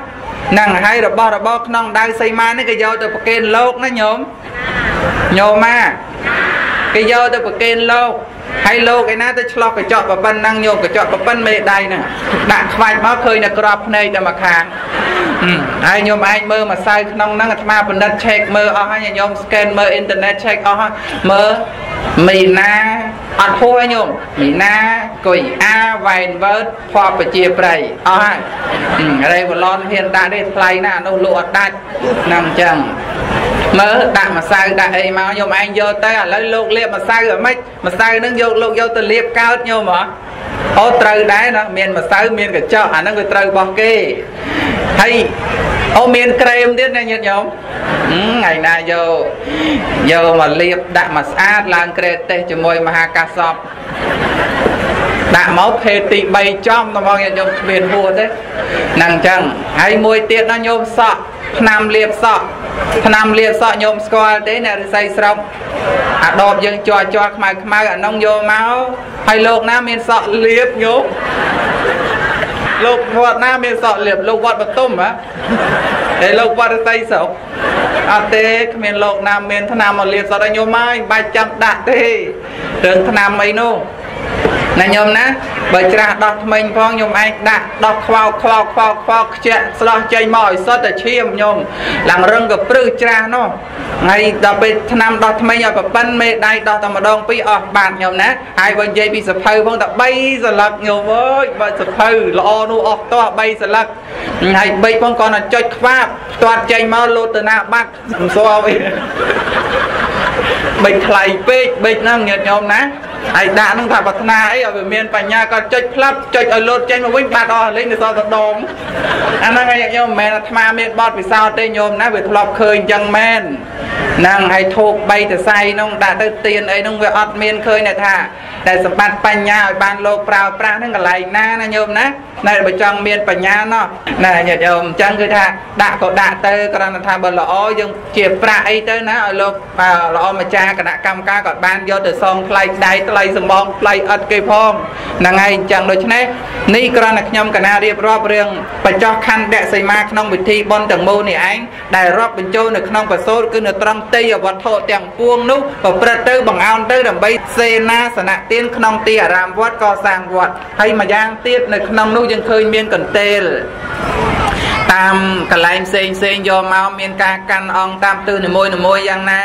អានឹងអញ្ចឹងគឺថាទេយវត្ថុដែលយើងយកមករាប់បាតលោកគ្រប់យ៉ាងនឹងឯងគឺជាការឲ្យទានការឲ្យទាននោះឯងសង្គ្រោះចូលនៅក្នុងព្រះសោតណាព្រះមហាកាសពសូមទានព្រះមហាកាសពព្រះមហាកាសបៈបងនិមន្តជ្រាបសូនញាតិញោមរិស័យស្រុកអនុមោទនីសាធុសាធុអនន្តមានអាយុ នឹងចំជាឈ្មោះអនន្តមែនណាញាតិញោមណាអនន្តនេះអនន្តគឺបានបញ្ជាក់រៀបរាប់អំពីព្រះសូត្រនឹងក្នុងបនបញ្ចុះខណ្ឌអ្នកសីមានឹងតើត្រង់ចំណុចណាខ្លះយើង ប្រព្រឹត្តទៅក្នុងប្រសូតចឹងញាតិញោមបានជ្រាបไว้ក្នុងរណ្ដៅសីមារណ្ដៅសីមានឹងគឺមានប្រសូតនៅត្រង់ហ្នឹង ប្រយោជន៍គុណតម្លៃធ្វើរណ្ដៅសេមានឹងគឺដើម្បីចង់បានថាវិការមួយចំនួនដែលញាតិញោមបូជា ក្នុងរណ្ដៅសេមានឹងយកមកសងថ្លៃព្រះវិហារមិនមែនយកឆ្នាំលៀបសក់ទៅសងថ្លៃព្រះវិហារទេញោមញោមមិនមែនយកសភៅ3ស្លឹកមកសងថ្លៃព្រះវិហារទេហើយក៏មិនមែនយក ច្រាស់ដោះថ្មីឆ្នាំដោះថ្មីហ្នឹងយកមកសងថ្លៃពហិយដែរយកអ្វីទៅសងថ្លៃពហិយញាតិញោមបច្ច័យឯលុយលុយឯបច្ច័យតោះថាលុយបច្ច័យលុយថាបច្ច័យលុយបច្ច័យមួយណាប្រកាសហ្នឹងបច្ច័យឯលុយអ្វីក៏អ្វីទៅទេទៀតចិត្តដល់ម៉ោងហើយតើអញ្ចឹង គោលចម្បងដែលយើងចង់បានហ្នឹងគឺថាវិការហ្នឹងយកទៅសងថ្លៃដែកថ្លៃស៊ីម៉ងថ្លៃហ្នឹងប្រព្រឹត្តទៅក្នុងព្រះសោតឃើញទេញាតិញោមបណ្ណណាត់កុំដាក់ដុល្លារខ្មោចណាញោមណាខ្លះចង់បានដុល្លារចាយអូយចង់សុកចិត្តយកអាលុយខ្លួនឯង1500ទៅទិញដុល្លារខ្មោចបានមួយបាច់មកយកមាសសុតហ្នឹងទៅយកសំណមកវិញដាក់ដៅសេមាញាតិញោម ហើយមានមើលក្នុងលុយខ្មែរដែរគេសរសេរថាម៉េចអ្នកខ្លែងក្រដាស់ប្រាក់នឹងត្រូវផ្ដន់ទាទោសតាមច្បាប់ហើយមិនប្រងយកមកដាក់ឲ្យលោកនឹងមិនឲ្យលោកជាប់គុកអីមិនហ៎ញោមញោមតែខ្លួនឯងចាយមិនកើតយកមកដាក់ឲ្យលោកទៅសល់ផ្លែដែកផ្លែស៊ីម៉ង់គេគេតែមិនទៅចឹងសុកចិត្តមានមាសហើយកុំយកមាសយកទៅដូរសំណណាញោមណា មានមាសហើយយកមាសនឹងទៅដាក់ទៅល្អជាងណាញោមណាអនន្តមានអាយុវាយចោះក្នុងបនបញ្ចុះខណ្ឌសីមាឃើញរោងទឹះគ្រប់ទឹះតើពុទ្ធបរិស័ទមកធ្វើរោងទឹះគ្រប់ទឹះហ្នឹងគេធ្វើដើម្បីអីហើយតើធ្វើរោងទឹះហ្នឹងប្រព្រឹត្តទៅក្នុងបសោតឬក៏អត់បើយើងគិតមើលតាមរោងទឹះគ្រប់ទឹះហ្នឹងមានញាតិញោមប្រចាំទឹះតាំងពីថ្ងៃទី1មករហូតហ្នឹង តើការប្រារព្ធធ្វើរោងទិសសម្រាប់ធ្វើបន់បញ្ចុះខណ្ឌសីមានឹងប្រព្រឹត្តទៅក្នុងព្រះសោតត្រង់ចំណុចណាខ្លះដែរនឹងសូមអនន្តមេត្តាវិសេចនីរីសេចក្តីប្រគេនប្រគំចាស់ជូនញាតិញោមបានជ្រាបផងសូមនិមន្តហន្តេកសបៈបបិទ្ធព្រះអរិយកាសពដ៏ចម្រើនអរប្រគុណព្រះមហាកាសពបានបំពេញបន្ថែមយកលុយមែនទែនទៅទិញដុល្លារខ្មោច សិតកដាស់100ដុល្លារខ្មោចគេនំញាតិញោមធ្លាប់ទិញទេណែឲ្យស្រួលបួលអ្នកស្ងាត់ស្ងាត់នោះនឹងមិនទេនោះអាងក្នុងវត្តហ៊ាន ហ៊ានកុហកឯណាមើលធ្លាប់ទេណាអត់តែអ្នកឆ្លើយមកទៅណាអ្នកអត់ឆ្លើយនឹងមិនដឹងយ៉ាងណាមហាកាសពហើយឥឡូវសំណួរលោកសួរមិញសួរញោមស្ដាប់បានទេញាតិញោមពុទ្ធបរិស័ទទាំងឡាយអ្នករិស័យស្រុកអឺអ្នករិស័យស្រុក ឥឡូវនេះមហាកាសពសួរមកហើយញាតិញោមរិស័យស្រុកស្រុកស្រុកស្រីសន្ធរខេត្តកំពង់ចាមញោមជ្រាបណាញោមលោកសួរថាហេតុអីបនបនម្ចាស់សីមានឹងឯងមានរោងទិសហើយការដែលមានរោងទិសនឹងអត្តន័យដោយមួយដេចហើយចាត់ចូលក្នុងបសោតដែរទេបសោតនឹងតែម្ដងប៉ុន្តែមានការជាប់ពាក់ព័ន្ធជាមួយគ្នានឹងព្រះវិន័យញោម ផន្តេកសបៈបបិទ្ធព្រះអរិយកាសសំអ្នកតកែវដ៏ចម្រើនឥឡូវហ្នឹងសួរពីរឿងទិសទាំង8ញាតិញោមណាញោមដឹងទេឲ្យតែបញ្ចុះសីមាគេដាក់ទិសទាំង8ទិសបោទិសអាគ្នេយ៍ទិសតសិនទិសបោទិសអាគ្នេយ៍ទិសតសិនទិសនិរដីទិសប៉ះចាំទិសពីយប់ទិសឧត្តរទិសឦសាន ទិសអន្តកិលគេនេះញោមមិនមាននេះមានមិនស្មានតលោករាប់ខុសហ៎ ហ្នឹងហើយទៅមាន8ទេក្នុងវិន័យណាប៉ុណ្ណាក្នុងវិន័យហ្នឹងមាន8ណាប៉ុន្តែថែមអន្តកលនឹងឯងគឺជាប្រយោជន៍ប្រព្រឹត្តទៅដើម្បីកសាងវត្តប៉ុន្តែនិមិត្តសីមាមិនមែននៅកន្លែងសីមាអន្តកលហ្នឹងទេណានិមិត្តសីមាគឺគេរាប់សំខាន់ជាងគេគឺដុំថ្មនិមិត្តសីមាដុំថ្មហ្នឹងសុទ្ធសាធមិនមែនអំបោះមិនមែនឫស្សីចងលើអំបោះមិនមែនអ្វីក្រៅពីហ្នឹងកំបិតបណ្ដួងយកទៅចងយកទៅជន់អីទេញាតិញោម អាហ្នឹងសីមាហ្នឹងគឺសំដៅយកថ្មសំដៅយកថ្មថ្មនឹងឯងដែលជានិមិត្តសីមាក្នុងព្រះវិន័យ3ដកញាតិញោមដឹងវិន័យលេខប្រមាណនេះនិយាយរឿងសីមាវិន័យលេខ6ណាបងវិន័យនឹងឯងគេធ្វើសីមានឹងប្រយោជន៍ដើម្បីអីគឺប្រយោជន៍ដើម្បីវិខុសង្ឃលោកចងសីមាជាប់ហើយវាមានពតភៈសីមាមួយដើម្បីប្រយោជន៍ដល់ការធ្វើសង្ឃកម្មរបស់លោកញោមញោមអើយ ដែលគេធ្វើសីមាហ្នឹងធ្វើដើម្បីអីដើម្បីវិខុសង្ឃបានធ្វើនៅសង្ឃកម្មកម្មរបស់សង្ឃត្រូវធ្វើនៅក្នុងសីមាដែលជាសីមាសម្បត្តិដូចជាការបួសដូចជាការក្រាលក្រងកថាការក្រាលក្រងអនុមោទនីនិងដូចជាការ ធ្វើនៅញាត់ផ្សេងផ្សេងធ្វើឧបោសថធ្វើនៅបវារណាកម្មគឺត្រូវធ្វើនៅក្នុងសីមាហើយក្នុងការធ្វើហ្នឹងមិនឲ្យភិក្ខុសង្ឃនៅក្រៅសីមាទេហើយភិក្ខុសង្ឃវត្តសម័យព្រះគឺភិក្ខុសង្ឃមកពីគ្រប់ទិសដល់ទៅពេលមានសីមានៅក្នុងវត្តចឹងទៅមកពីគ្រប់ទិសភិក្ខុសង្ឃមកពីទិសបូមកពីទិសអាគ្នេយ៍មកពីទិសតសិនមកពីទិសនិរដីមកពីទិសបច្ចាំមកពីទិសពាយបឧត្តរឥសានដោយពាក្យមួយគេថាម៉េច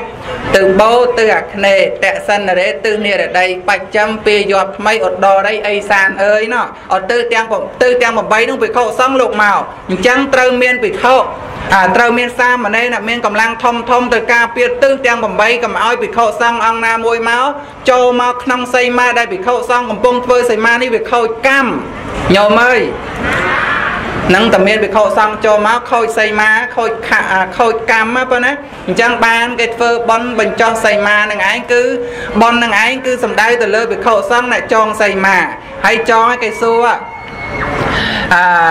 ទិសបោមានអវ័យជានិមិត្តឃើញទេនឹងបរដ្ឋិមាយតិសាយកੰនិមិត្តតាំងតើទិសបោមានអវ័យជានិមិត្តអើទិសបោបានបានគេឆ្លើយមក បាសាណោផានទេអញ្ចឹងទៅណាញាតិញោមញោមអើយញោម មែនមែនណែមែនតែអ្នកមុខឯអ្នកក្រោយវូមែនអស់មែននេះមែនអមែនណាគឺឆ្លើយប្រាប់មកនេះបញ្ជាក់ប្រាប់មកព្រះបល័យនឹងឯងគឺសំដៅយកទិសបូដែលទិសខាងកើតនឹងឯងគឺសួរមុនគេអញ្ចឹងទិសខាងកើតមានថ្មជានិមិត្តទិសខាងជើងគឺទិសខាងត្បូងទិសបច្ចំពេលយកទុកគ្រប់ទិសទាំងអស់សួរអញ្ចឹងមានអ្វីជានិមិត្តបានចាប់ផ្ដើមសូត្របញ្ជាន់តារាងដកសីមាចាស់នឹងចេញសីមាដែលគេចងហើយដែលអាចវិនិច្ឆ័យទៅបានគឺ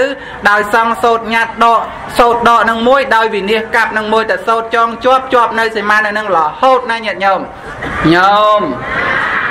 អានេះអាត្មាភាពបច្ចៈពីរឿងទៅដូច្នេះមហាថៃដ៏ចម្រើនដូច្នេះដែលរាប់ថាជាការកាន់ទឹះ កាន់ទឹះមួយមួយនឹងឯងគឺរាប់បញ្ចូលនៅក្នុងប្រសូតនៅត្រង់ដែលញាតិញោមនាំគ្នាសុំកាន់ទឹះមួយទៅពីព្រោះទឹះបោនឹងឯងសំដៅយកមកទឹះមានអ្វីជានិមិត្តមានថ្មជានិមិត្តអញ្ចឹងថ្មនឹងឯងតំណាងឲ្យទឹះបោក្នុងទឹះបោក្រែងមានវិខុសង្ឃណាមកតាមទឹះនឹងចូលនៅក្នុងរោងនឹងបរិច្ចាគនៅទៀននៅតីយធម៌ប្រកេនចំពោះលោកលោកធ្វើនៅផតកិច្ចឲ្យញាតិញោមធ្វើទៀនជាមួយលោកអញ្ចឹងទៅញាតិញោម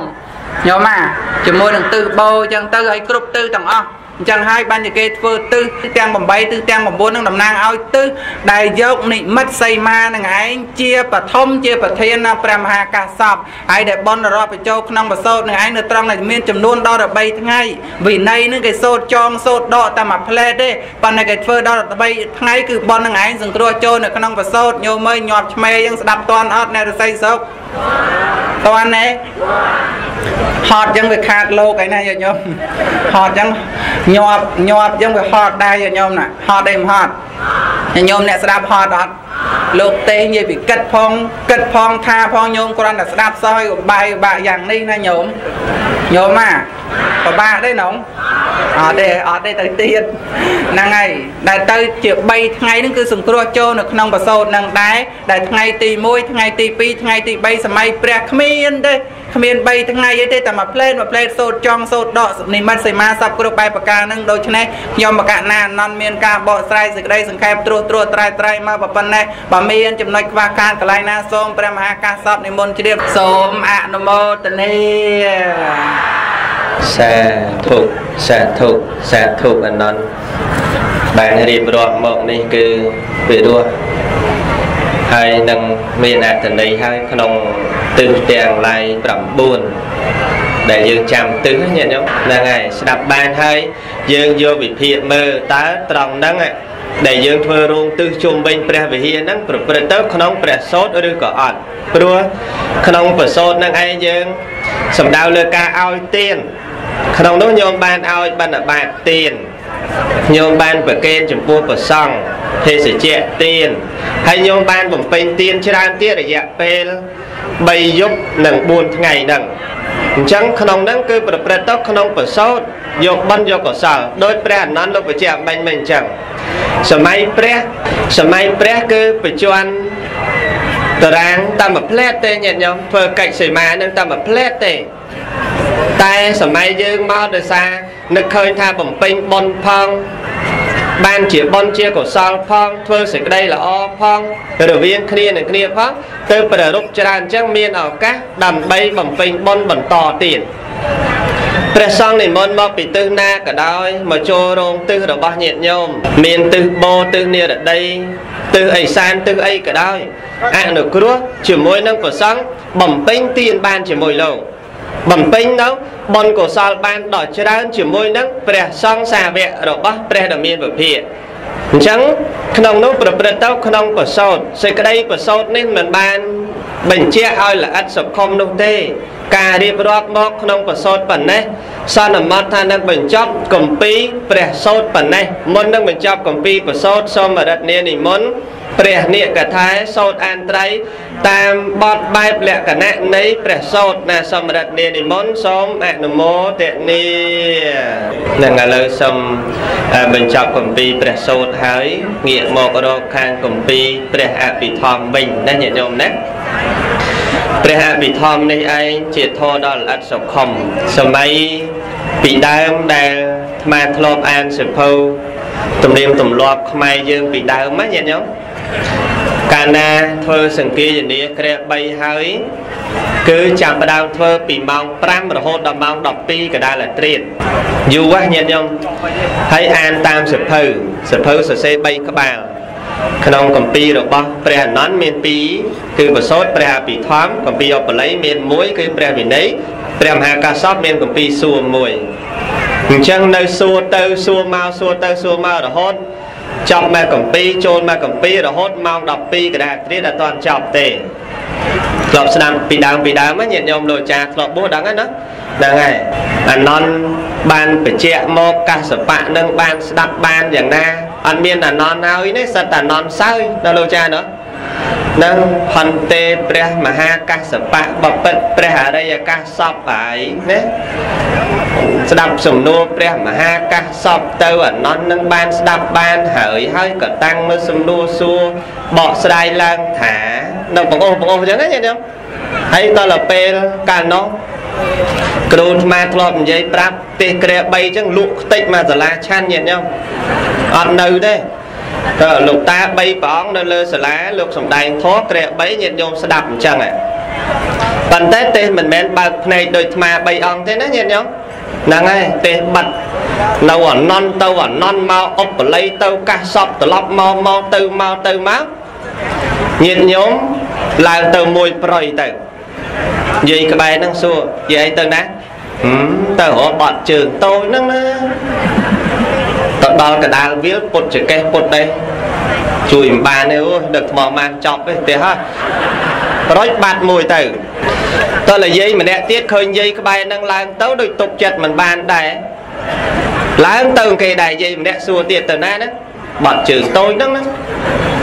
ទៅដល់ដល់កន្លោះខ្លួនកន្លោះប្រាណចេញបាត់ទៀតទៅ បន្តបន្តគ្នាកេះកេះគ្នាទៅអស់អាលីញាតិញោមសល់តែអាចារ្យ4នាក់អាចារ្យ4នាក់ហ្នឹងអត់ប្រសងអានត្រៃទេអាចារ្យអ្នកអានទេកានុងតលពេលអាចារ្យ4នាក់ហ្នឹងគិតតែធ្វើម៉េចឲ្យតែដេគុណបើកភ្នែកដឹងតែចប់ព្រោះអស់មនុស្សហើយឲ្យតែបើកភ្នែកចប់អ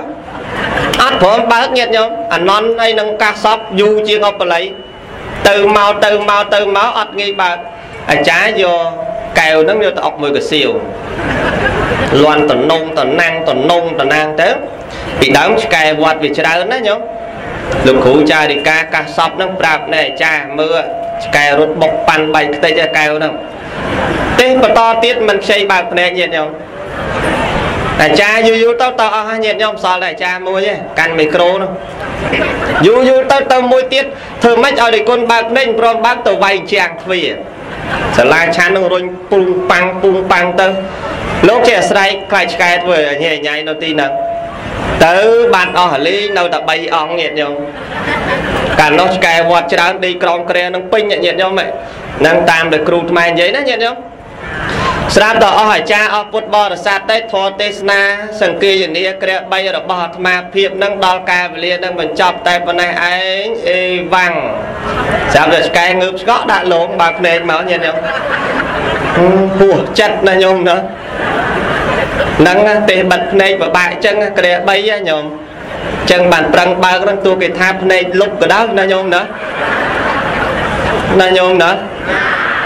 ភ្នែកតូចទេភ្នែកធំហេងសយទេបើមិនជឿសាក់ជ្រុះលមើលពីណាលឿនជាងពីណាដឹងហ៎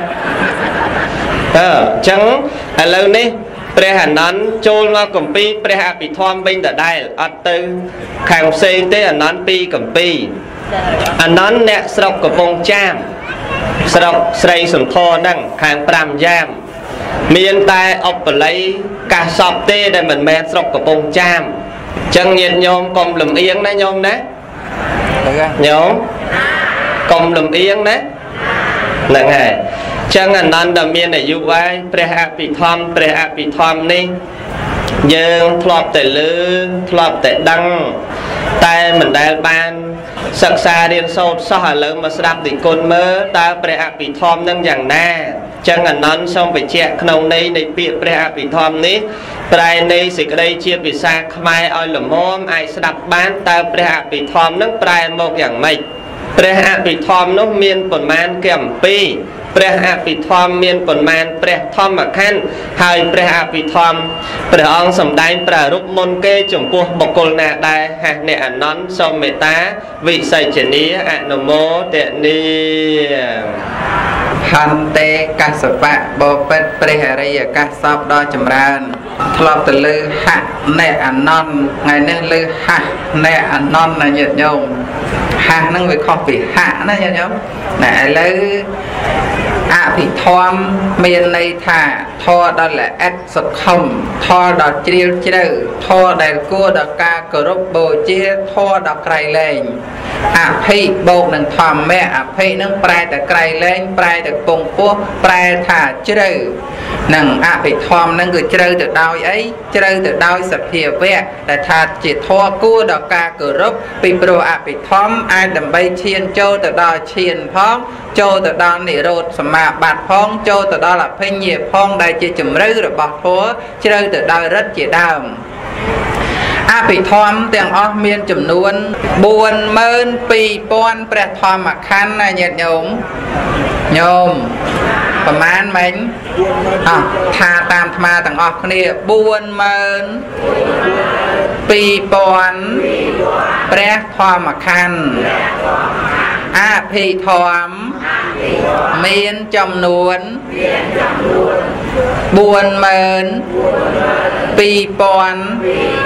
ព្រះធម្មខណ្ឌពេលណាអត់ថាតាមអត់មានបញ្ញាញោមសងគេអត់ងាយរួចទេឥឡូវពេលណាថាតាមនឹងសងគេឆាប់រួច40000 2000ធម្មខណ្ឌប្រមាណ យើលើតែសងគេឆាប់មួយដាក់អស់គ្នាហ្មងញាតិញោមឲ្យប្រាវហ្មងហ្នឹងហើយប្លង់ដីប្លង់ផ្ទះនៅណាញោមដូចអត់ឃើញនៅផ្ទះយើងទេខ្លោយទៅប្រឹងស្ដាប់យកអានិសង្ឃណាញោមឥឡូវនេះអាចូលមកដល់រឿងអភិធម្មហ្នឹងមាន92000ធម្មខណ្ឌហើយមានប្រមាណកម្ពីមាន7កម្ពីណាញោមមាន7មាន7 7លេ7 7ណាញោម5បូកនឹង2តែអ្នកសីសុកក៏មកចង់បោកញោម7អ្នកសុកហ្នឹងគេហៅអញ្ចឹងណាលឺនៅ អ្នកសុកយើងនេះគេហៅ7 7កពីហ្នឹងអញ្ចឹងឥឡូវនេះញាតិញោមណាគាត់តែបញ្ជាក់ថាអភិធម្មមាន7កម្ពីហ្នឹងអាកម្ពីទាំងអស់មាន7កម្ពីទី1នោះហើយលោកហៅថាកម្ពីធម្មសង្កណីហើយកម្ពីទី2នោះឯងលោកហៅថាកម្ពីវិភាំងហើយកម្ពីទី3នោះលោកហៅថាកម្ពីធាតុកថាហើយកម្ពីទី4លោកហៅថាកម្ពីកថាវត្ថុហើយកម្ពីទី5នោះហើយលោកម្ចាស់ព្រះមហាកាសបបងហើយលោកហៅថាកម្ពីយមកៈហើយកម្ពីបកាទីប្រមាណញាតិញោម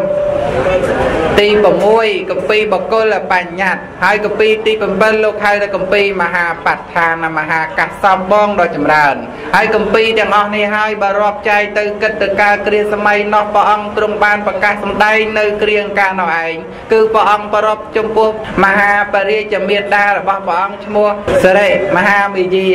ដែលជាសរិមហាមេយាទេវបុត្រនៅនេថាមឋានតោសិតណាញាតិញោមញោមណា ពមេតាព្រះអង្គញោមឯងស្គាល់ទេឈ្មោះអីសរិមហាមាយានឹងពេលព្រះអង្គប្រសូតមកបាន7ថ្ងៃសរិមហាមាយាបាន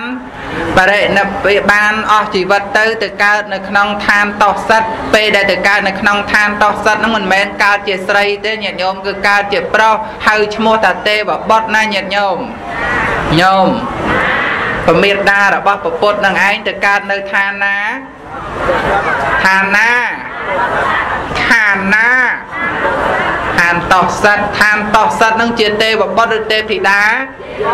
ទេវបុត្រគឺកើតជាប្រុសហើយញោមកំណើតស្រីកំណើតកើតព្រោះបាបមានបាបច្រើនកើតមកមានទុកលំបាកច្រើនជាងបរោះណាញាតិញោមមែនមែនមែនមែនមកអត់ដឹងអីទេសួរញាតិញោមស្រីស្រីនេះញោមដឹងស្រាប់ហើយអញ្ចឹងកើតជាស្ត្រីនឹងមានមានសេចក្តីទុកលំបាកច្រើនជាងបរោះណាញោមណានឹងមានសេចក្តីទុកយ៉ាងណាយ៉ាងណាដូចជាការតាំងក9ខែ10ថ្ងៃហ្នឹងដូចជាការតាំងក9ខែ10ថ្ងៃហ្នឹងគឺជាការលំបាកឲ្យបរោះមានបរោះណាតាំងកហើយញាតិញោម មែនលោកតាណាតាំងកទេអត់ទេឲ្យតាំងកអត់ស្រួលទេលំបាកខ្លាំងក្រៃលែងណាញាតិញោមអញ្ចឹងបានទៅកើតជាទេវតាហ្នឹងផុតវិស័យជាស្ត្រីហើយកើតនៅក្នុងកំណើតជាបរោះដែលជាទេវបុត្រហ្នឹងហើយក្នុងកាលនោះព្រះសម្មាសម្ពុទ្ធព្រះអង្គបានទៅសម្ដែងព្រះអភិធម្មណានឹងនៅនេឋានតាវតឹងជាន់ទី2ណាប៉ុណ្ណាជាន់ទី2ទេវតាទាំងអស់មាន6ជាន់ ជាន់ទី1ចាតមហារាជិកាជាន់ទី2ឈ្មោះតាវតឹងជាន់ទី3ឈ្មោះអឺជាន់ទី3ឈ្មោះយាមាជាន់ទី4ឈ្មោះតោសិតជាន់ទី5ឈ្មោះនឹមមានរតីជាន់ទី6ឈ្មោះបរណមតវសបតីទេវតាណាញាតិញោមញោម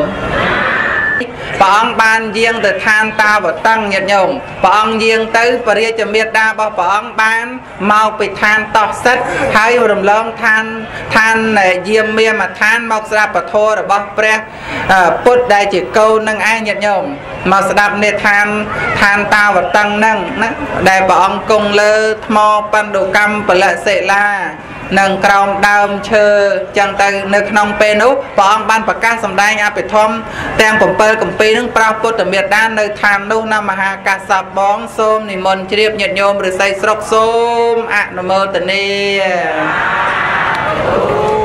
សាធុសាធុសាធុអនន្តបានរៀបរាប់ក្នុងកម្ពីព្រះអភិធម្មបានពីរោះក្បោះក្បាយ ចង់សួរញាតិញោមបន្តិចលែងសួរអនន្តចង់សួរញាតិញោមបន្តិចចាំឆ្លើយណាញោមណាព្រះអភិធម្មបាញ់មិញមានប្រមាណព្រះធម្មខណ្ឌ40000 2000ប្រធម្មខណ្ឌនឹងចាំតើញាតិញោមណាចុះមេដាព្រះអង្គដែលបានប្រសូតបុត្រគឺព្រះសទ្ធវនឹងបានរយៈកាល7ថ្ងៃ ពេលដែលសោយព្រះវិឡាល័យទៅ បានទៅចាប់កំណើតនៅឋានណាញាតិញោមហើយជាទេវបុត្រឬទេវធីតាទេវបុត្រអញ្ចឹងអនន្តបានបញ្ជាក់បកស្រាយមកឃើញថា កាលនៅជាស្រីនឹងលំបាកមានតែទៅជាភាពប្រុសបានវាស្រួលមែនញោមស្រីគ្រប់រូបលំបាកមែន មែនទេញាតិញោមប៉ុន្តែក្នុងរោងបនខូចសិតតែញោមស្រីឥឡូវយើងថ្លឹងថ្លែងគ្នាមើលហេតុអីបានញោមស្រីច្រើនជាងញោមប្រុសម្លេះអាចចោតបានថាមកអំពីញោមស្រីពិបាកនឹងហើយបានខំធ្វើបន់មែនទេញោមស្រីញោមស្រីឯងញោមប្រុសកុំកណាសួរញោមស្រីឯង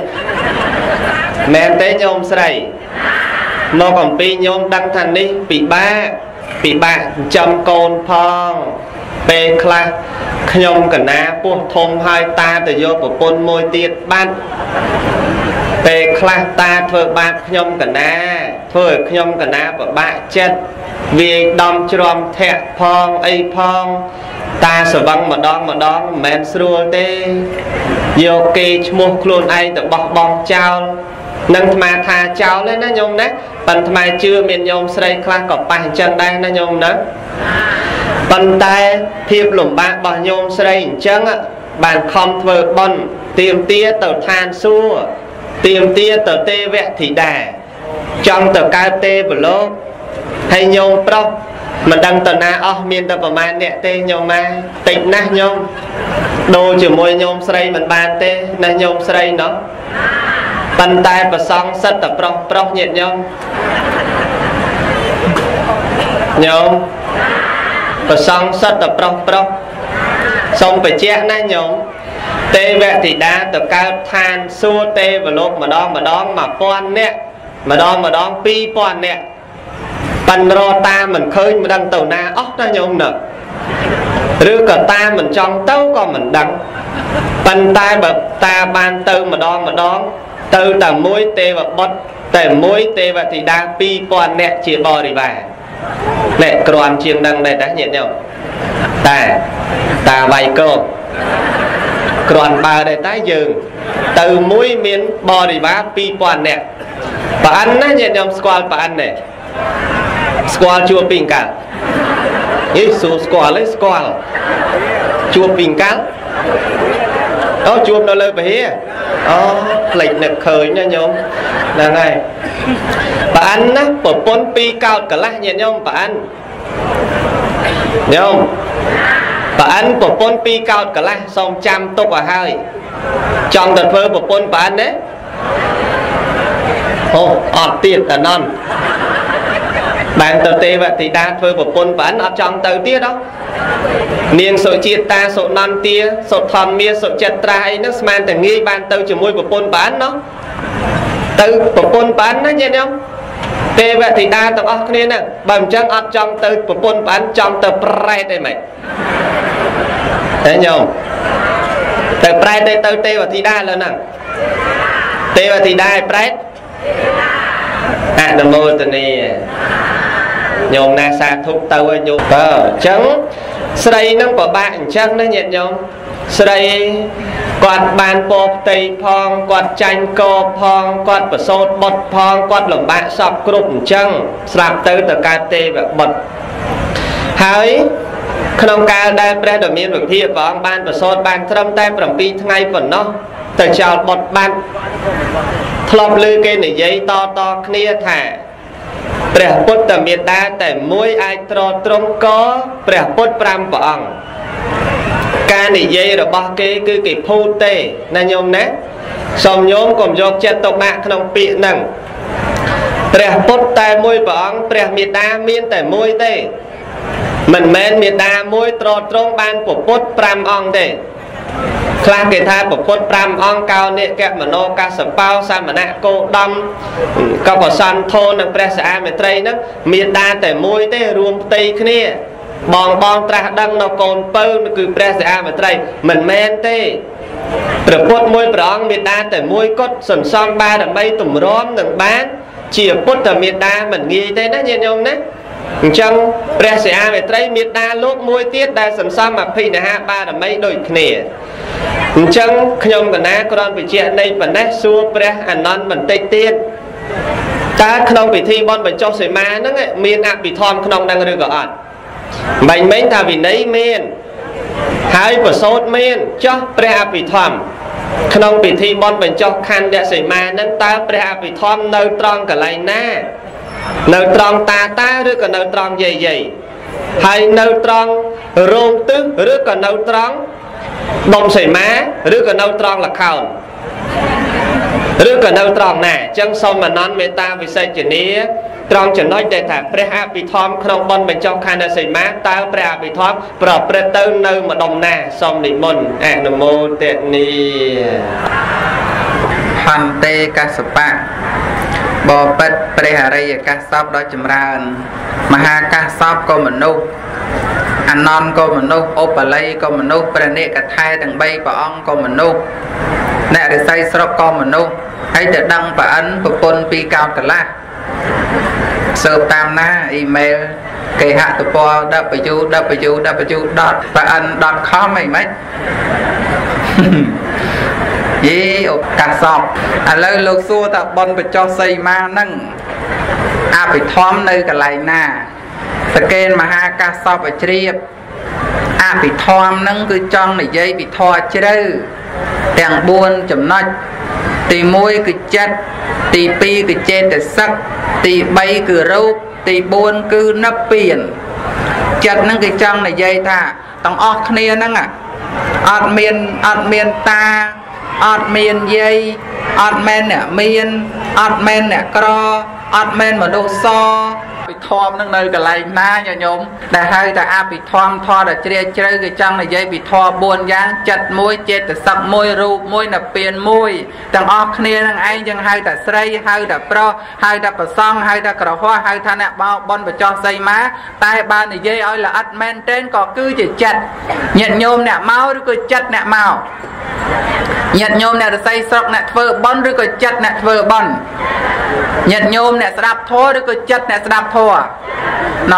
ខ្សត់តែចិត្តទាំងអស់ណាញាតិញោមញាតិញោមអ្នកកាន់ទឹះមួយមួយឬក៏ចិត្តអ្នកកាន់ទឹះពីដើមមកឆ្លោតតែចិត្តចិត្តចិត្តអ្នកកាន់ទឹះនឹងក៏ចិត្តដែរណាញោមអ្នកកាន់ទឹះនឹងក៏ចិត្តដែរណាញោមនឹងចឹង អើឥឡូវស្ដាប់ពធទេសនាមានចិត្តជ្រះថ្លាគេមិនមែនញោមជ្រះថ្លាទេចិត្តជ្រះថ្លាពោដោយបញ្ញត្តិថាញោមអ្នកស្ដាប់ធម៌ពោដោយបរមត្តអភិធម្មចិត្តជាអ្នកស្ដាប់ធម៌ញោមអ្នកកាន់សិលឬក៏ចិត្តអ្នកកាន់សិលញោមអ្នកស្រឡាញ់ឬក៏ចិត្តអ្នកស្រឡាញ់ញោមអ្នកស្អប់ឬចិត្តអ្នកស្អប់គេដាក់មកបំណងមកញោមអ្នកខឹងឬចិត្តអ្នកខឹងបើចិត្តមិនខឹងជេរកើតទេ បើចិត្តមិនខឹងជេរអត់អត់ទេនេះគ្រប់យ៉ាងវាមកតែពីចិត្តណាញាតិញោមវាគ្មានញាតិញោមមកពីណាទេប៉ុន្តែចិត្តនឹងឯងអ្នកកើតឡើងចិត្តនឹងឯងអ្នករលត់ចិត្តនឹងឯងអ្នកស្រឡាញ់ចិត្តនឹងឯងអ្នកស្អប់ចេតសិកក៏អញ្ចឹងរូបរូបក៏ដូចគ្នាតើជាញាតិញោមអ្នកស្ដាប់ធម៌ឬក៏រូបអ្នកស្ដាប់ធម៌ញាតិញោមអ្នកអ្នកចាស់ឬក៏រូបអ្នកចាស់ញោមអ្នកសក់សឬក៏រូបអ្នកសក់ស ញោមអ្នកជ្រាវជ្រួញឬក៏ស្បែកអ្នកជ្រាវជ្រួញ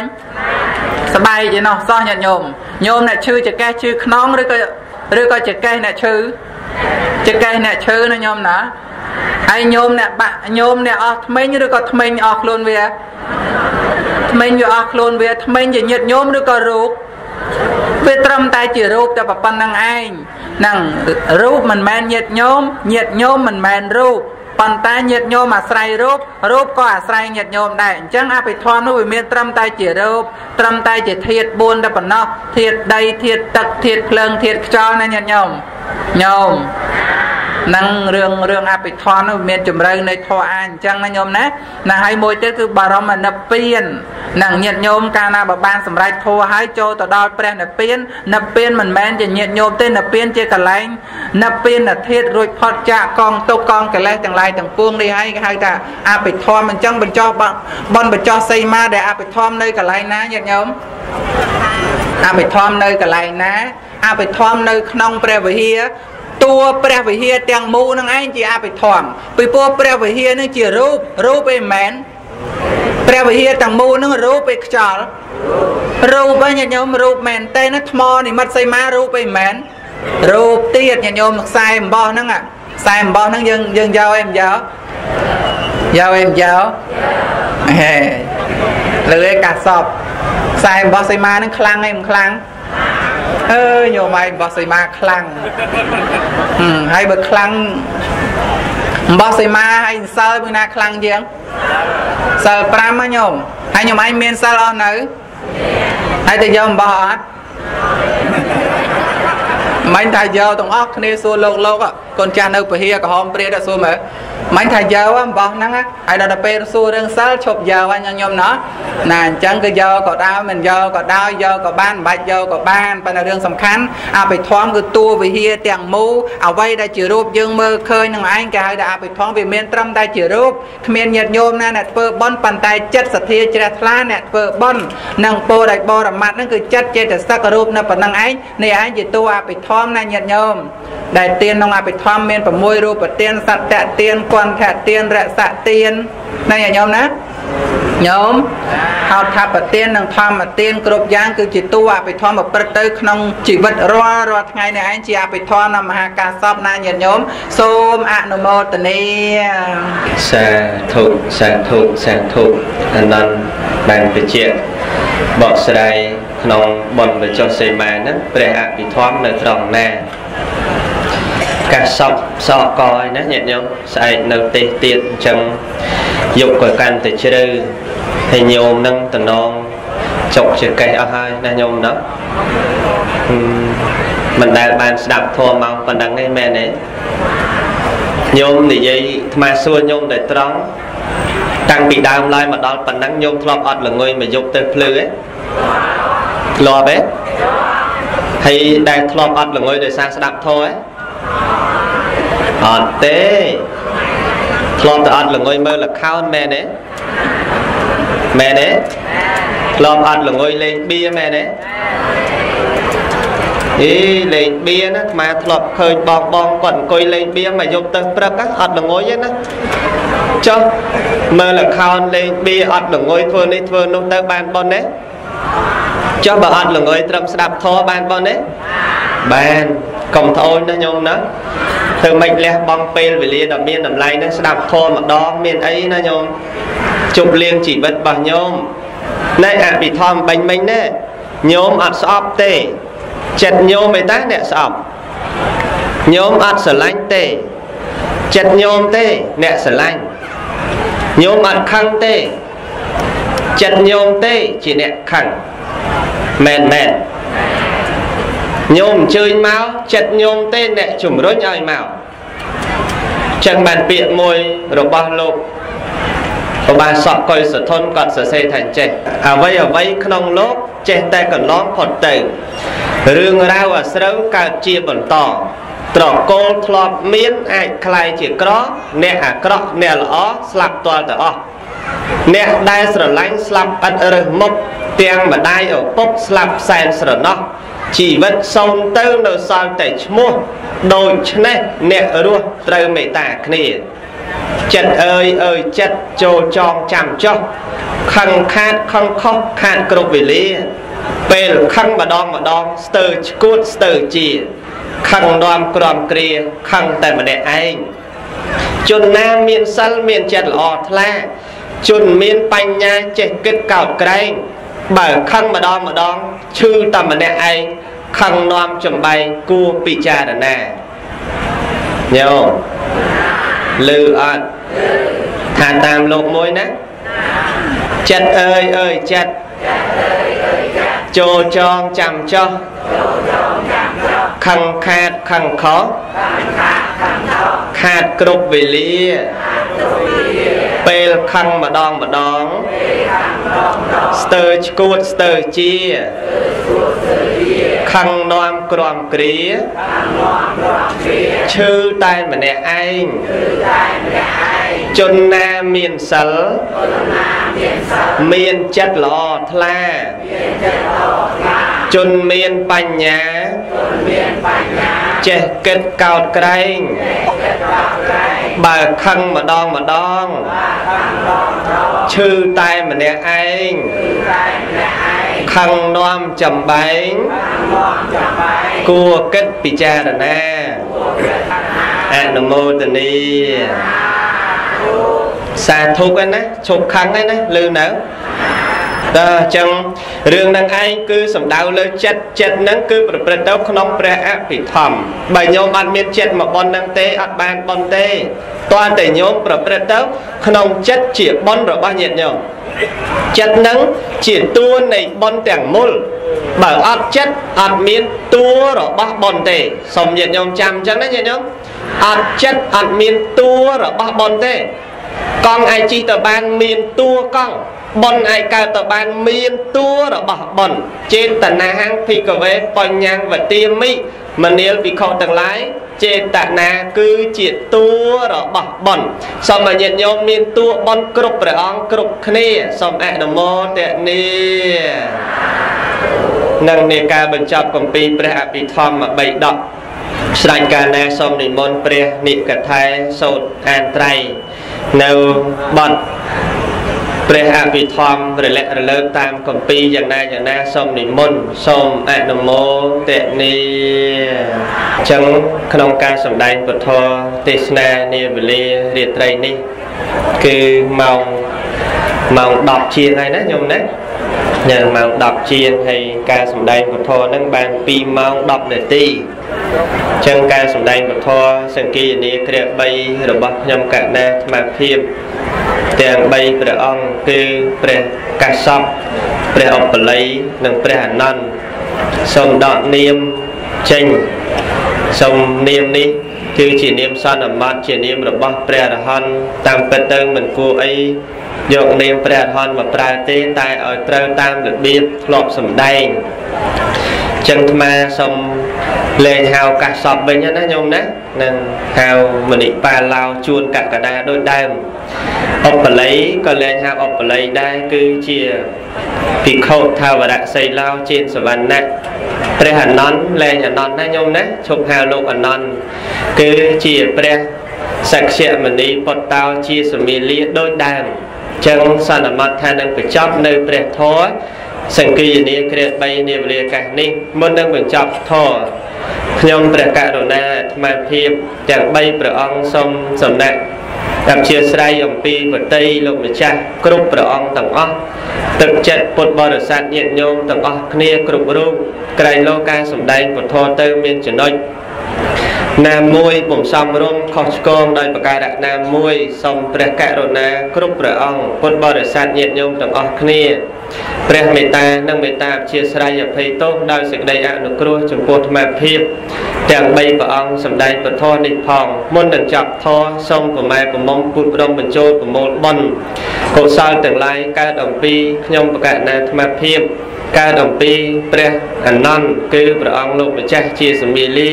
កើតអំពីលោកម្ចាស់ឧបល័យគឺជាសវណ្ណៈបនកើតអំពីប្រគុណចាស់គ្រប់ព្រះអង្គកើតពីញាតិញោមទាំងអស់គ្នាសូមជូន